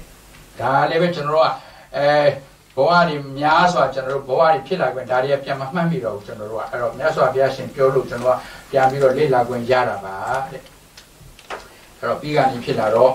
ဘုဒ္ဓဒအနေနဲ့မြတ်စွာဘုရားတကိုးပြတာလေးလည်းကျွန်တော်တို့ဒါဝိခိစင်မှာပါတယ်လေဒါကျွန်တော်တို့တော့မဆန်ဘူး တို့ရတွင်ဘုရားရှင်တွေယမိုက်ပြာတိကပြတယ်ဆိုတာဘာလဲဆိုတာကိုကဘုဒ္ဓရနေသိထားမှာဆိုတော့အဲယမိုက်ယမိုက်လို့ပြောနေယမိုက်ပြာတိကဆိုစောက်ထဲမှာခဏခဏတွေ့တယ်ယမိုက်ဆိုတာယမကလာလေယမကဆိုအစုံအစုံဒါကြောင့်မို့ကျွန်တော်ဒီအဘိဓမ္မာလေ့လာတဲ့ခါမှာယမိုက်ဆိုတာပါတယ်လေအဲဒီအစုံစုံသောတရားတရားတွေကိုကျွန်တော်ကအဲလေ့လာရှိသေးတယ်ပြာတိဟာဆိုတာပါတိဟာဆိုတကူအံဘကိုဖန်ဆင်းတာပါယမကပြာတိဟာရေစုံပြီးဆိုတကူဖန်ဆင်းတာ အမလေးမြတ်စွာဘုရားတို့များဒိဋ္ဌိတွေကိုရေစုံပြီးဆိုတော့တကုတ်ဘလို့ပြတယ်လဲဆိုတော့လွယ်တာမဟုတ်ဘူးလေမြတ်စွာဘုရားတို့ကအမတန်ကိုနှင်မြန်တဲ့ဇောအရှင်နဲ့မလို့ခါတဲ့ချက်ချင်းအခုအာယုံဖြစ်လာအခုချက်ချင်းဖြစ်လာတာတကယ်တော့သူက stage တွေကအမနေဘူးမြတ်စွာဘုရားတေဇောကတိုင်းကိုရင်ရှုလိုက်တယ်တဲ့စတုဒ္ဒဇံရောက်တဲ့အထိတေဇောကတိုင်းကိုရှုလိုက်ရှုပြီးတော့အဲ့ဒါကိုအခြေခံထားလိုက်တယ်ထားပြီးတော့မှစတုဒ္ဒဇံကနေထားပြီးတော့ အဲ့ဒီဇာယင်ကနှစ်ပါးရှိတယ်အဲ့ဒီစတုဒ္ဓဇာရဲ့အင်္ဂါတွေကိုဆင်ခြင်ပြီးတော့ပစ္စုကဏဇံစော၄ချိန်ကြတယ်တဲ့၄ချိန်ကြပြီးတဲ့အခါကျတော့မှအဋိဋ္ဌံပြုရတယ်ငါရဲ့ကိုအထက်ပိုင်းဒီမိအလျံလျံထွက်ပါစေသာဆိုတာအာအဋိဋ္ဌံပြုလိုက်တခါလေကြောက်လို့ရှင်လေအထက်ပိုင်းမှာတော့ဒီဘက်ဘယ်ဘက်အချမ်းရှိတဲ့မိုးချင်းပေါက်ကမီးတွေထွက်ပြီးတော့ဒီဘက်ကနေတော့ရေထွက်ပါသည်မြတ်စွာဘုရားအဲ့လိုအဋိဋ္ဌံပြုရတယ်အဋိဋ္ဌံမပြုဘဲနဲ့မြတ်စွာဘုရားလည်းတကိုးပြလို့မရဘူး ဒါပေမဲ့သူတို့အဋိဋ္ဌံပြုရတယ်အမှန်တန်ကျွမ်းကျင်တဲ့ခါကျတော့အာယုပြလက်နေတဲ့ပုံဆိုတာလည်းဖြစ်လာတာလေအဲအဲ့ဒါကကျွန်တော်တို့ကဘခုတုတအနေနဲ့တော့ကျွန်တော်လေ့လာတာဆောင်းမလည်းမမေးပါဘူးအဲ့လိုအဋိဋ္ဌံပြီးတဲ့ခါကျတော့မှအပိညာကိုပြန်ဝင်စားတဲ့ခါမှာသူအဋိဋ္ဌံနဲ့အတိုင်းပဲဒီဘက်ချမ်းနေပြီးတော့မိတွေထွက်တယ်အကြီးကြတော့အာဘောကတိုင်းကိုရှုတယ်အရင်တော့ရေတွေထွက်တယ်တခါတလေများမြတ်စွာဘုရားတို့ဘယ်တော့တော်လဲဆိုလို့ရှိရင်တဲ့ဒီမွေးညင်းပေါက်ကလေးမှာတော့မှ အဲ့ဒီဒီဘက်ကဒီဘက်မွေးညင်းပေါက်ကအချမ်းမီးတယ်ဒီဘက်ကရေးတယ်အဲ့လိုထွက်တယ်တဲ့အယောင်တွေလည်းထွက်အောင်မျိုးမျိုးသူတို့ဟိုကျွန်တော်တို့အပညာဝင်စားပြီးတော့တကိုးပြပါတယ်တဲ့ဒါကျွန်တော်တို့ဘုသူတာပဲကျွန်တော်တို့ကလှုပ်ဆောင်နိုင်ကြမရှိသေးဘူးကျွန်တော်တို့ကအများကြီးလိုသေးတယ်အဲ့တော့နေရာမှာဒီမှာကျွန်တော်ဝိပါကနေရာမှာပြောပြီးပြီဇဝနာနေရာမှာပြောပြီးပြီအခုကျွန်တော်တရားဓမ္မနေရာမှာတဲ့တရားယုံနေဘယ်လိုဖြစ်တယ်လဲဆိုတော့ဇောရဲ့အနောက်မှာတရားယုံလာတယ်လေ တရားယုံဆိုရင်ကျွန်တော်သိရမယ်ကာမဇောဝါဒဘယ်တော့မှမဲကုတ်ဒီမှာဇောမပါဘူးဘာဖြစ်လို့ဆိုတော့ဒီတရားယုံဆိုတာကပုဂ္ဂိုလ်ကာမဇောကာမနဲ့ကာမအာယုံသုံးချက်စုံတရားယုံဟုခေါ်တဲ့တဲ့ဆိုတော့ကာမဝဆဘုံလည်းဖြစ်ရမယ်ကာမအာယုံလည်းဖြစ်ရမယ်ကာမဇောလည်းဖြစ်ရမယ်အဲ့တော့မှတရားယုံတော့ဒီတရားယုံဆိုကျွန်တော်တို့လူတွေနဲ့ပုံဆိုင်တာပေါ့မြန်မာတွေနဲ့ဘာဆိုင်အဲ့တော့ကြောင့်ဒီဇောရဲ့အနောက်မှာတရားယုံဖြစ်တယ်ဆိုတာစီကံပိုင်းခြားသတ်မှတ်ထားတဲ့အကြောင်းကိုလေ့လာတာတရားဓမ္မနာ တရားယုံဖြစ်တာကကျွန်တော်တို့ကာမဘုံသား၁၇ဘုံသားအပယ်၄ဘုံလူဘုံနတ်ပြည်၆ထပ်ဒါကြောင့်ကာမဘုံတွေလေထင်ရှားတဲ့ကာမအာယုံလည်းဖြစ်ရမယ်ကာမဇောလည်းဖြစ်ရမယ်အဲ့တော့ကျွန်တော်သိထားမှာတရားယုံဆိုဒီမှာတရားယုံကိုရောက်စေတဲ့စိတ်တွေဒီတန်တိရဏ၃ပါးနဲ့မဟာဝိဘက်စိတ်အဲ့ဝိဘက်စိတ်တွေကိုကျွန်တော်မှတ်ထားဝိဘက်စိတ်၈ပါးနဲ့တရားယုံကကျွန်တော်ဒီတန်တိရဏကဒီဘက်ကနှစ်ခုရှိတယ်နောက်တော့သောမန အဲဒီတန်တိရဏနဲ့ဝိဘက်စိတ်တွေဒီတရားယုံကိုဖြစ်စေတယ်တရားယုံဆိုတာဘာလဲတဒါယုံတဆိုတာအဲ့ဒီထိုးထိုးဖြစ်သောတရားဆိုတာထိုးဖြစ်သောဆိုတော့ဇောကိုပြောတာဇောရဲ့အနောက်မှာတရားယုံလာလဲဆိုဇောကခံစားတဲ့ကုသိုလ်ဇောဆိုရင်တရားယုံကလည်းကုသိုလ်အာယုံလေးကိုဆက်ပြီးတော့ခံစားတယ်တရားယုံဒီဇောကအကုသိုလ်ဆိုရင်လည်းတရားယုံကအကုသိုလ်ဇောပဲဖြစ်သွားတယ်အဲ့ဒါကိုကျွန်တော်သိထားရမှာလေတရားယုံဆိုတာအဲ့ဒါကိုပြောတာပါတဲ့အဲ့ဒါဇောနောင်တရားယုံဘယ်လိုကြသလဲတဲ့ ဒါလေးတွေကလည်းပဲကျွန်တော်တို့ theory အနေနဲ့သိထားဖို့ပါအကုသိုလ်ဇောဖြစ်တယ်အဲ့တော့ဇောဆိုတာဗါလဲအကုဟာတိကုကတိလောကုဖုံငါအုပ်ရောဇောဟုခေါ်တဲ့အဲ့တော့ကျွန်တော်ဇောတွေမှာအကုဟာတိကုကတိလောကုဖုံငါအုပ်ရောဇောဟုခေါ်တဲ့အဲ့တော့ဒီမှာအကုသိုလ်ဆိုတာဗါလဲဆိုတော့အကုသိုလ်စိတ်တွေမှာလောမှုစိတ်တွေရှိတယ်မောမှုရှိတယ်ဒေါသမှုတွေရှိတယ်သူနဲ့နောက်ကဖြစ်လာတဲ့တရားယုံတွေကမတူကြဘူး လောဘကြတော့သောမနတတန်ရနာရှိတယ်ဟုတ်တယ်လေဒီမှာရှိဒီမှာကျွန်တော်လောဘစိတ်တွေမှာကျွန်တော်ဒီမှာသောမနတတွေရှိတယ်လို့ကြောင့်မလို့လောဘမှုဖြစ်လို့ရှိရင်သောမနတတန်ရနာစိတ်ကဝင်မဲ့ဥပိ္ပခါတဲ့သူကရှိတယ်ဘာဖြစ်လဲဆိုတော့ဒီမှာဥပိ္ပခါတွေလည်းရှိတယ်လေအဲ့တော့ကျွန်တော်တို့ကသိရမှာကလောမှုနဲ့မောမှုကကြတော့ဥပိ္ပခါရှိတယ်ဒေါသမှုကြတော့ဥပိ္ပခါပဲရှိတယ်ဒါလေးတွေကတော့ဒေါမှုစိတ်နဲ့မောမှုဆိုတာတစိတ်တွေဒါသူရဲ့တရားယုံတွေ အဲ့တော့ဘာစိတ်ဖြစ်လို့ရှိရင်တရားယုံဘယ်နှခုဖြစ်တယ်ဘာစိတ်ဖြစ်ရင်တရားယုံဘယ်နှခုဖြစ်တယ်ဆိုတာတော့စာဖြေမဲ့လူတွေကတော့သူကသိရတယ်လေတရားယုံကအားလုံး7ခုပဲရှိတယ်မဟာဝိပဿနာ10ခုနဲ့တန်တိနာဥပိ္ပခာ2ခုသောမနတတစ်ခုပေါင်းလိုက်လို့ရှိရင်အားလုံး7ခုတရားယုံ7ခုဒါတွေကသူ့ရဲ့အမျိုးအစားတွေ꿰ပြီးတော့ကရိယာဖြစ်လို့ရှိရင်ဘာတရားယုံဖြစ်တယ်ကျွန်တော်တို့မဟာကုသိုလ်ဖြစ်ရင်ဘာတရားယုံဖြစ်တယ်ဆိုတာဒါလေးတွေကတော့ကျွန်တော်တို့ စာအနေနဲ့ဒါကျွန်တော်ကလေ့လာရတာပေါ့ဒါဒီဥစ္စာတွေကတော့ကျွန်တော်တို့ apply အနေနဲ့တော့ဘာမှသိအသုံးမကျအဲ့တော့ဒါလေးတခုကျွန်တော်အာဂန္တုဘဝင်လေးဆိုတာလေးကိုကျွန်တော်ပြောပြီးရင်ဒီလေးဒီနာလေးခဏနောက်ပြီးလို့ရှိရင်နောက်ပတ်တွေလောက်ဆိုရင်ကျွန်တော်ပြီးလောက်ပြီလို့ကျွန်တော်ထင်ပါတယ်အဲအာဂန္တုကဘဝင်ဆိုတာဒါတွေကတော့ကျွန်တော်တို့စာဖြေမဲ့လူတွေကတော့ဒီဝိသိစမှာဒါတွေကသိရအဲ့တော့ဘာဖြစ်လို့အာဂန္တုကဘဝင်လဲဆိုတော့ဓမ္မမရှိလို့ကျွန်တော်တို့ကသိခဲ့တယ် ဘယ်လိုသိလဲဆိုတော့ကျွန်တော်ကပါစတဏ္ဍဘူးဇောခွန်တဲ့ချိန်တရားယုံပြီဆိုတော့ကျွန်တော်တို့ကအဲ့ဒါလေးကိုနည်းနည်းပြန်ရေးမယ်ဆိုလို့ရှိရင်ဒီမှာကျွန်တော်ကပါစတဏ္ဍဘူးတံပတိဆိုင်တန်တိရဏဝုထောဇောဇောပြီးလို့ရှိရင်ကျွန်တော်ကတရားယုံနှစ်ချိန်လာတယ်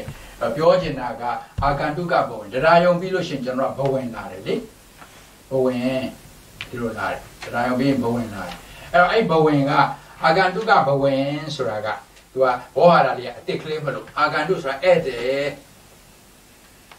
ဧည့်တယ်ဘဝင်ဆိုတော့ဒီဟာက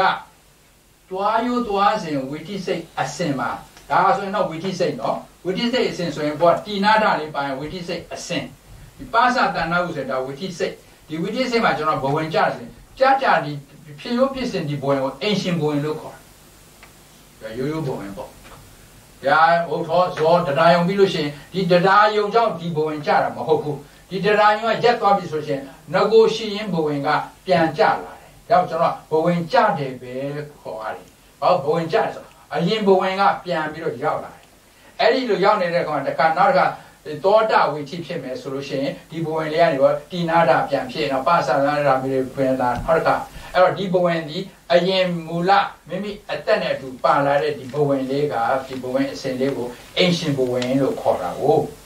အဲ့တဲ့ဘဝင်လို့ပြောတာအာဂန္တုကဘဝင်ဆိုတာဒီဘဝင်လေးဘယ်လိုပြောင်းလဲသွားတယ်ဆိုတာလေးကိုလေ့လာတာအဲ့ဒါအာဂန္တုကဘဝင်အဲ့တော့ဘာလဲဆိုတော့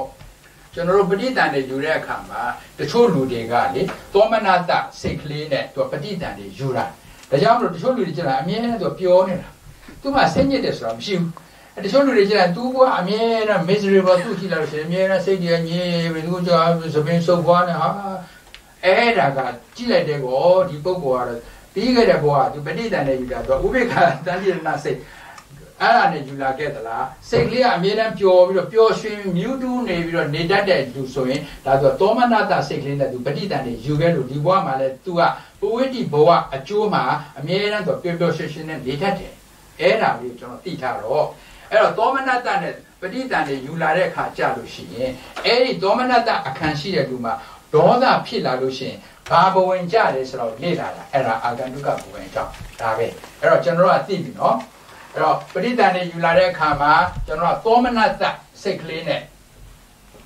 ပဋိသန္ဓေယူလာတာအဲ့တော့ပဋိသန္ဓေယူလာတဲ့အခါကျတော့သောမနတအခန်းလေးကရှိနေအဲ့ဒီပုဂ္ဂိုလ်ကဒေါသထွက်ပြီဆိုတော့ အာသူများကလည်းရံဖြစ်တော့ကိုကဒေါသစိတ်တွေဖြစ်လာတယ်ဆိုလို့ရှိရင်ဒေါသစိတ်ဖြစ်ပြီဆိုတော့သူကဖြစ်လာမှသဘောကခုနကျွန်တော်တို့ဇဝနနိယမရဆိုဒေါသဇောတွေဖြစ်ရမှာဟ ဟုတ်တယ်လေဒေါသဖြစ်လိုက်ပြီဆိုရင် तू ကသူရင်ကပဋိသန္ဓေနေခဲ့တာနေခဲ့တာပဲအခုလောလောဆယ် तू ကဒေါသဖြစ်ပြီဆိုတော့ तू ကဒေါသဇောတွေကဝင်တော့ဒေါသတထာယုံကဖြစ်လာ ဒေါသတထာယုံဖြစ်လာတော့ဒေါသတထာယုံရဲ့အနောက်မှာလာတဲ့ဟာတွေကလည်းပဲ तू ကဒေါသနဲ့နည်းနည်းဟိုညှိတွယ်နေတဲ့ဘဝင်တွေဖြစ်ရမှာပေါ့အဲ့ဒီလိုတော့မဖြစ်နိုင်ဘူးတဲ့ဇက်ကမတူဘူးတဲ့စာထဲမှာလေဒေါမနတနဲ့သောမနတသူကပဋိသန္ဓေယူခဲ့တာသောမနတအခုဖြစ်နေတာဒေါမနတဇယိုက်ကမတူတဲ့အခါကျတော့တဲ့မီးနဲ့ရေလိုပဲတဲ့စัจကျင်ပဲသဘောရှိလို့တဲ့အနန္တရပစ္စည်းတက်လို့မရ အနန္တရပစ္စည်းဆိုတာဒါကိုပြောတာလေဒီဘက်ကစိတ်တစ်ခုဖြစ်လိုက်လို့ဟိုဘက်ကစိတ်ကလည်းပဲဒီလိုထပ်ပြီးတော့ဖြစ်တယ်ဆိုသူကလက်ဆင့်ကမ်းလိုက်တာအနန္တရဆိုတာလေနောက်ပဋ္ဌာန်းပိုင်းကျရင်လာမယ်တမန်နန္တရနဲ့အနန္တရဘာကွာလဲအနန္တရဆိုတာအကြားမရှိဘူးကျွန်တော်တို့ဥပတိပင်ဒီလိုဖြစ်တယ်ဆိုလို့ရှိရင်ဒီမှာဥပတိပင်ဒါတွေကတခုပြီးတော့နောက်တစ်ခါဥပတိပင်ဒီလိုသွားတာ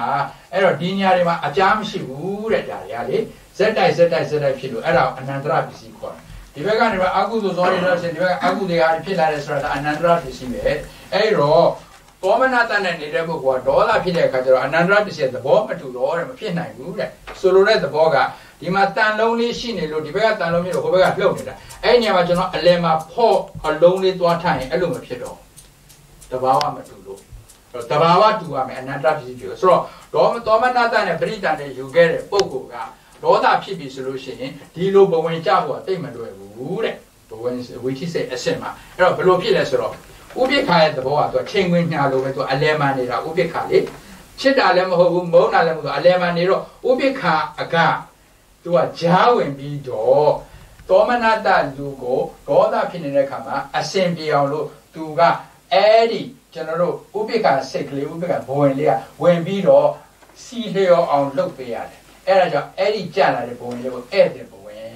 ဝင်တဲ့ငကိုအင်ရှင်ဘဝင်မဖြစ်ဖဲနဲ့သူဝင်လို့ဒါစာရည်နေနဲ့လေ့လာတာလေဒါကတော့ဆောင်းဝဲမှာခဏခဏပြေးတယ်အာကတုကဘဝင်ဆိုတာဘယ်လိုနားလဲပါသလဲအဲ့တော့ဥပိ္ပခာရဲ့သဘောကတဲ့ချိန်ခွင်ညာသဘောရဲ့အလေလသဘောရှိလို့တဲ့သောမနတနဲ့လည်းသိအောင်ပေါင်းလို့ရတယ်ဒေါမနတနဲ့လည်းသိအောင်ပေါင်းလို့ရတဲ့အတွက်ကြောင့်တဲ့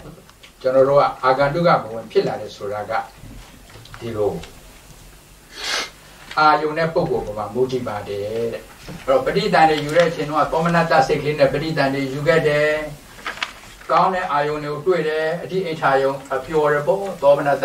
ယောနိသောမနတိကာရလည်းရှိတယ်နှလုံးသွင်းတာမှန်တယ်ဆိုရင်သူ့မှာသောမနတဇောဖြစ်တယ်သောမနတတရားယုံအဲ့တော့သူကကြာနေကြဘဝင်ရိုးရိုးပဲလေကောင်းတာကိုတွေ့တယ်ကောင်းတဲ့တရားယုံဖြစ်တယ်ကောင်းတဲ့ဇောတွေဖြစ်တယ်ကောင်းတဲ့ဘဝင်ကြာတဲ့အခါကျတော့အဲ့ဒီကြာတဲ့ဘဝင်ကအင်ရှင်ဘဝင်ဝိသိစိတ်အစင်မှာအမှန်တိုင်းဖြစ်တယ်ဘဝင်